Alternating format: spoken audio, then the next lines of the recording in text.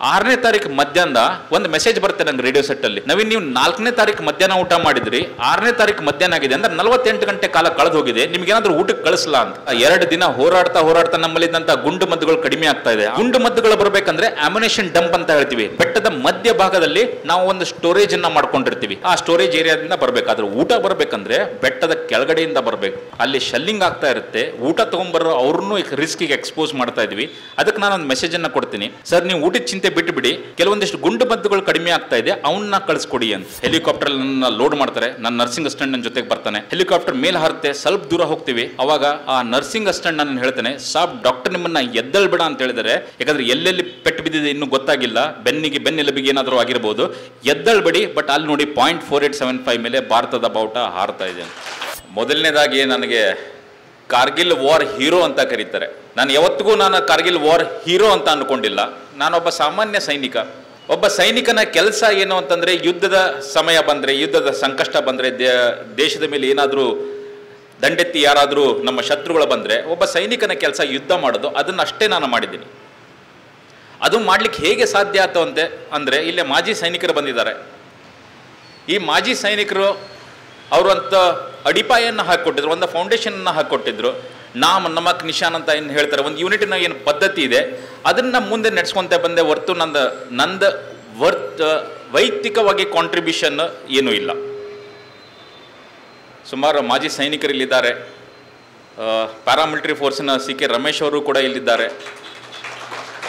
ರಮೇಶ್ ಅವ್ರ ಬಗ್ಗೆ ಒಂದು ಮಾತನ್ನ ಹೇಳಲೇಬೇಕು. ದೇಶಕ್ಕೋಸ್ಕರ ದುಡ್ದಿದ್ದು ಸಾಕು ಅಂತ, ಈಗ ಧರ್ಮಕ್ಕೋಸ್ಕರ ದುಡಿತಾ ಇದ್ದಾರೆ ಸಿ ಕೆ ರಮೇಶ್ ಅವರು. ಅದ್ಭುತವಾದ ಕೆಲಸ ಮಾಡ್ತಾರೆ.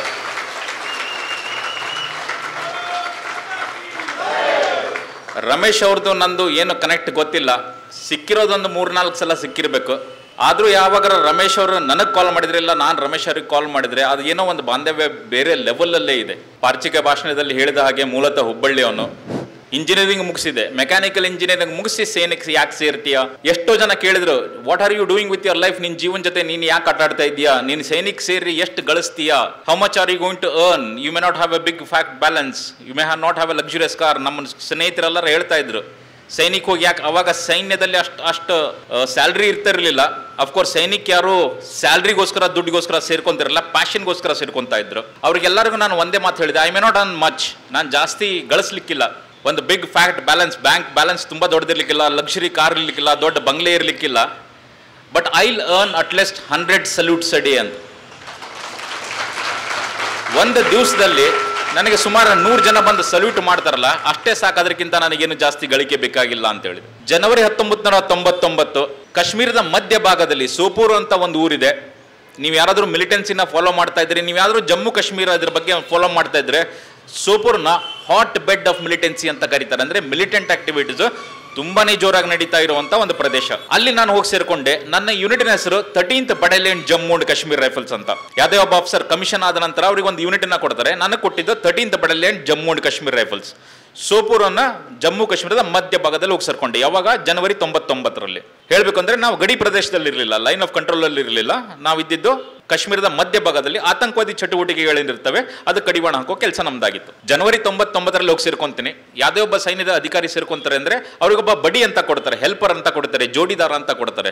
ಅದೇನಕ್ಕೆ ಅಂದ್ರೆ, ಅವರಿಗೆ ನಾವೇನಾದರೂ ಕೆಲಸ ಮಾಡ್ತೀವಿ, ಒಂದು ಅಟ್ಯಾಕಿಗೆ ಹೋಗ್ತೀವಿ, ಒಂದು ಆಂಬುಷನ್ನ ಲಾಂಚ್ ಮಾಡ್ತೀವಿ, ನಮಗೇನಾದರೂ ಒಂದು ಮಿಲಿಟರಿ ಇಂಟೆಲಿಜೆನ್ಸ್ ಸಿಕ್ಕಿದೆ ಆ ಮಿಲಿಟೆಂಟ್ಸ್ ಈ ರೂಟಲ್ಲಿ ಹೋಗ್ಬೋದು ಅಂತ ಅವ್ರನ್ನ ಅಟ್ಯಾಕ್ ಮಾಡೋಕ್ಕೆ ಹೋಗ್ತೀವಿ ಮಿಲಿಟೆಂಟ್ ಹೈಡೌಟನ್ನು ಬರ್ಸ್ಟ್ ಮಾಡ್ತೀವಿ ಇವು ಯಾವಾದ್ರೂ ಕೆಲಸ ಮಾಡಕ್ ಹೋದ್ರೆ ನಾವು ಹೆಚ್ಚು ಹೆಚ್ಚಾನ ಹೆಚ್ಚು ನಾವು ರಾತ್ರಿ ಹೊತ್ತಲ್ಲಿ ಹೋಗ್ತೀವಿ. ರಾತ್ರಿ ಹೊತ್ತಲ್ಲಿ ಒಂದು ದೊಡ್ಡ ಟೀಮ್ ಅಲ್ಲಿ ಅಟ್ಯಾಕಿಗೆ ಹೋದಾಗ ಆ ಶತ್ರು ಕಡೆಯಿಂದ ಇಲ್ಲ ಮಿಲಿಟೆಂಟ್ಸ್ ಕಡೆಯಿಂದ ಆತಂಕವಾದಿಗಳಿಂದ ಯಾವಾಗಾದ್ರೂ ಫೈರಿಂಗ್ ಬಂದ್ರೆ ಯಾರಿಗಾದ್ರೂ ಒಬ್ರಿಗೆ ತಗಲಿದ್ರೆ ಅದು ಯಾರಿಗೂ ಗೊತ್ತಾಗ್ಲಿಕ್ಕಿಲ್ಲ, ಯಾರು ಗಮನಿಸ್ಲಿಕ್ಕಿಲ್ಲ ಯಾರಿಗಾದ್ರೂ ಒಬ್ರಿಗೆ ಪೆಟ್ಟು ಬಿದ್ದಿದೆ ಅಂತ. ಅದಕ್ಕೆ ನಾವೇನು ಮಾಡ್ತೀವಿ ಅಂದ್ರೆ ಒಂದು ದೊಡ್ಡ ಟೀಮ್ ಹೋದ್ರೆ ಅದರಲ್ಲಿ ಪೇರ್ಸ್ ಅಂತ ಮಾಡ್ತೀವಿ, ಜೋಡಿದಾರ ಅಂತ ಮಾಡ್ತೀವಿ.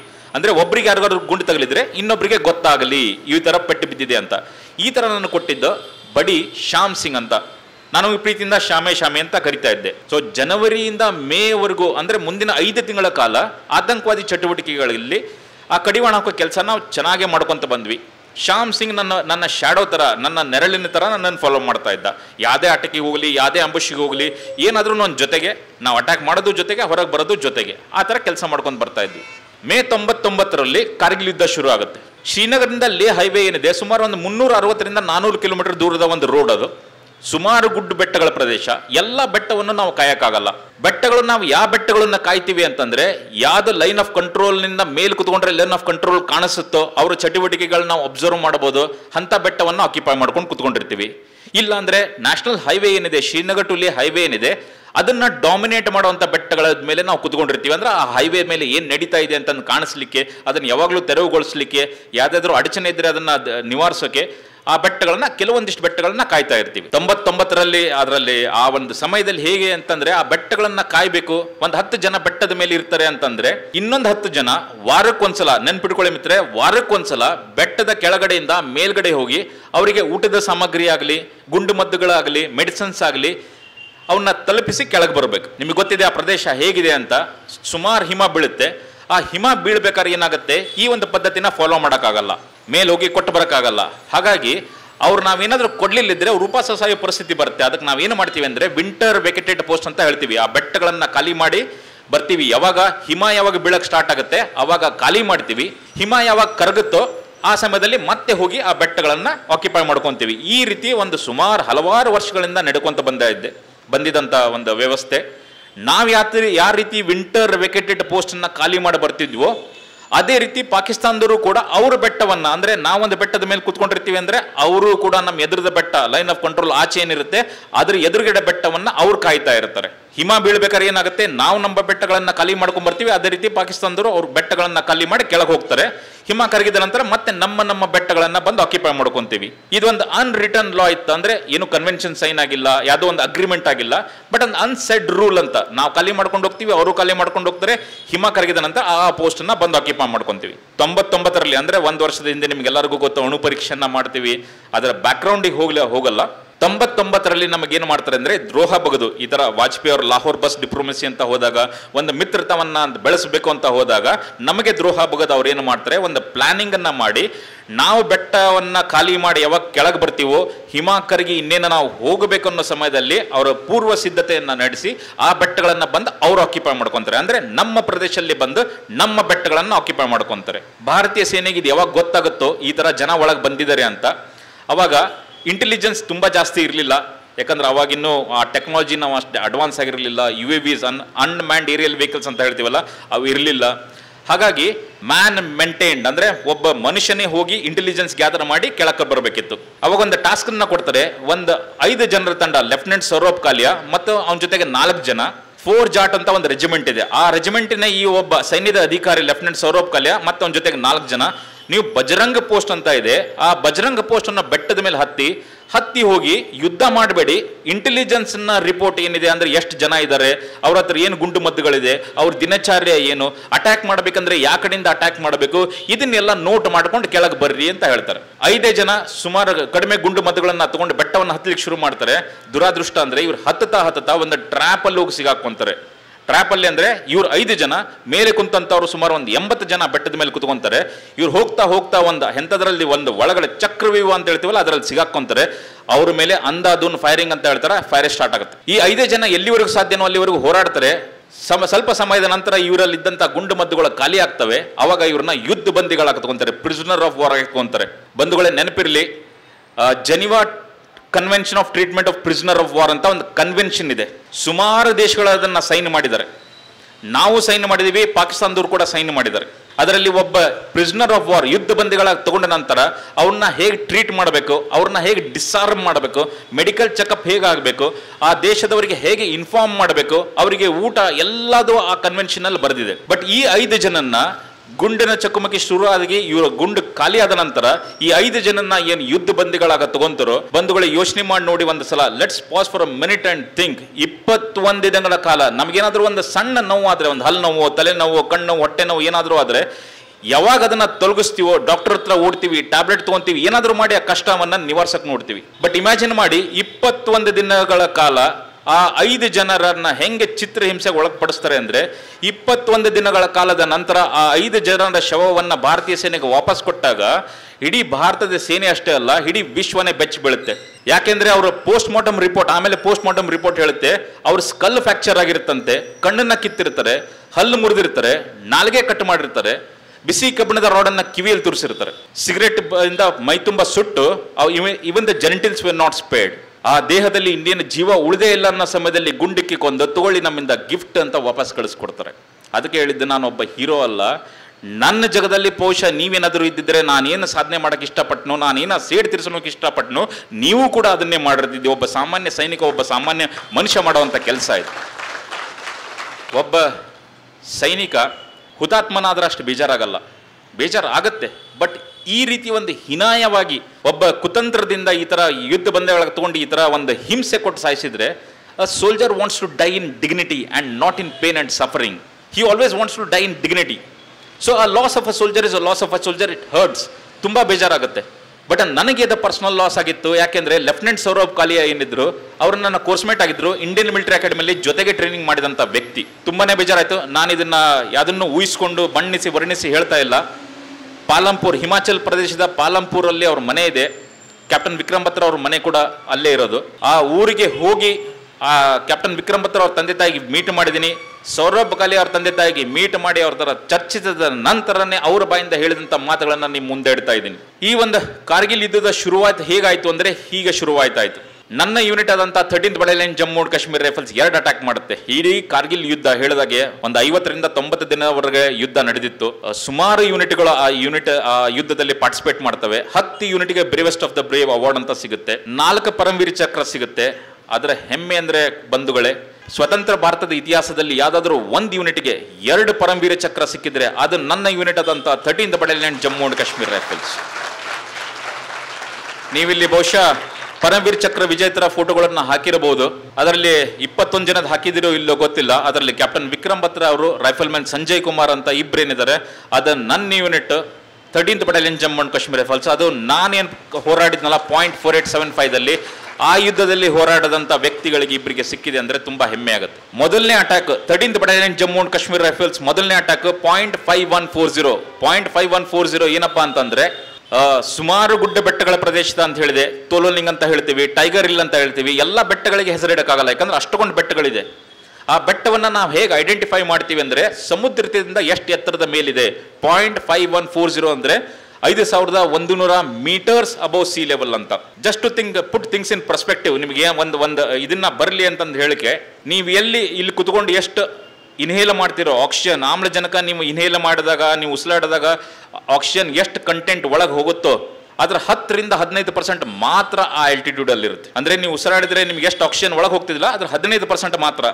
ಇಮ್ಯಾಜಿನ್ ಮಾಡಿ ಬಾಡಿ ಎಷ್ಟು ಜಲ್ದಿ ಸುಸ್ತಾಗುತ್ತೆ ಅಂತ.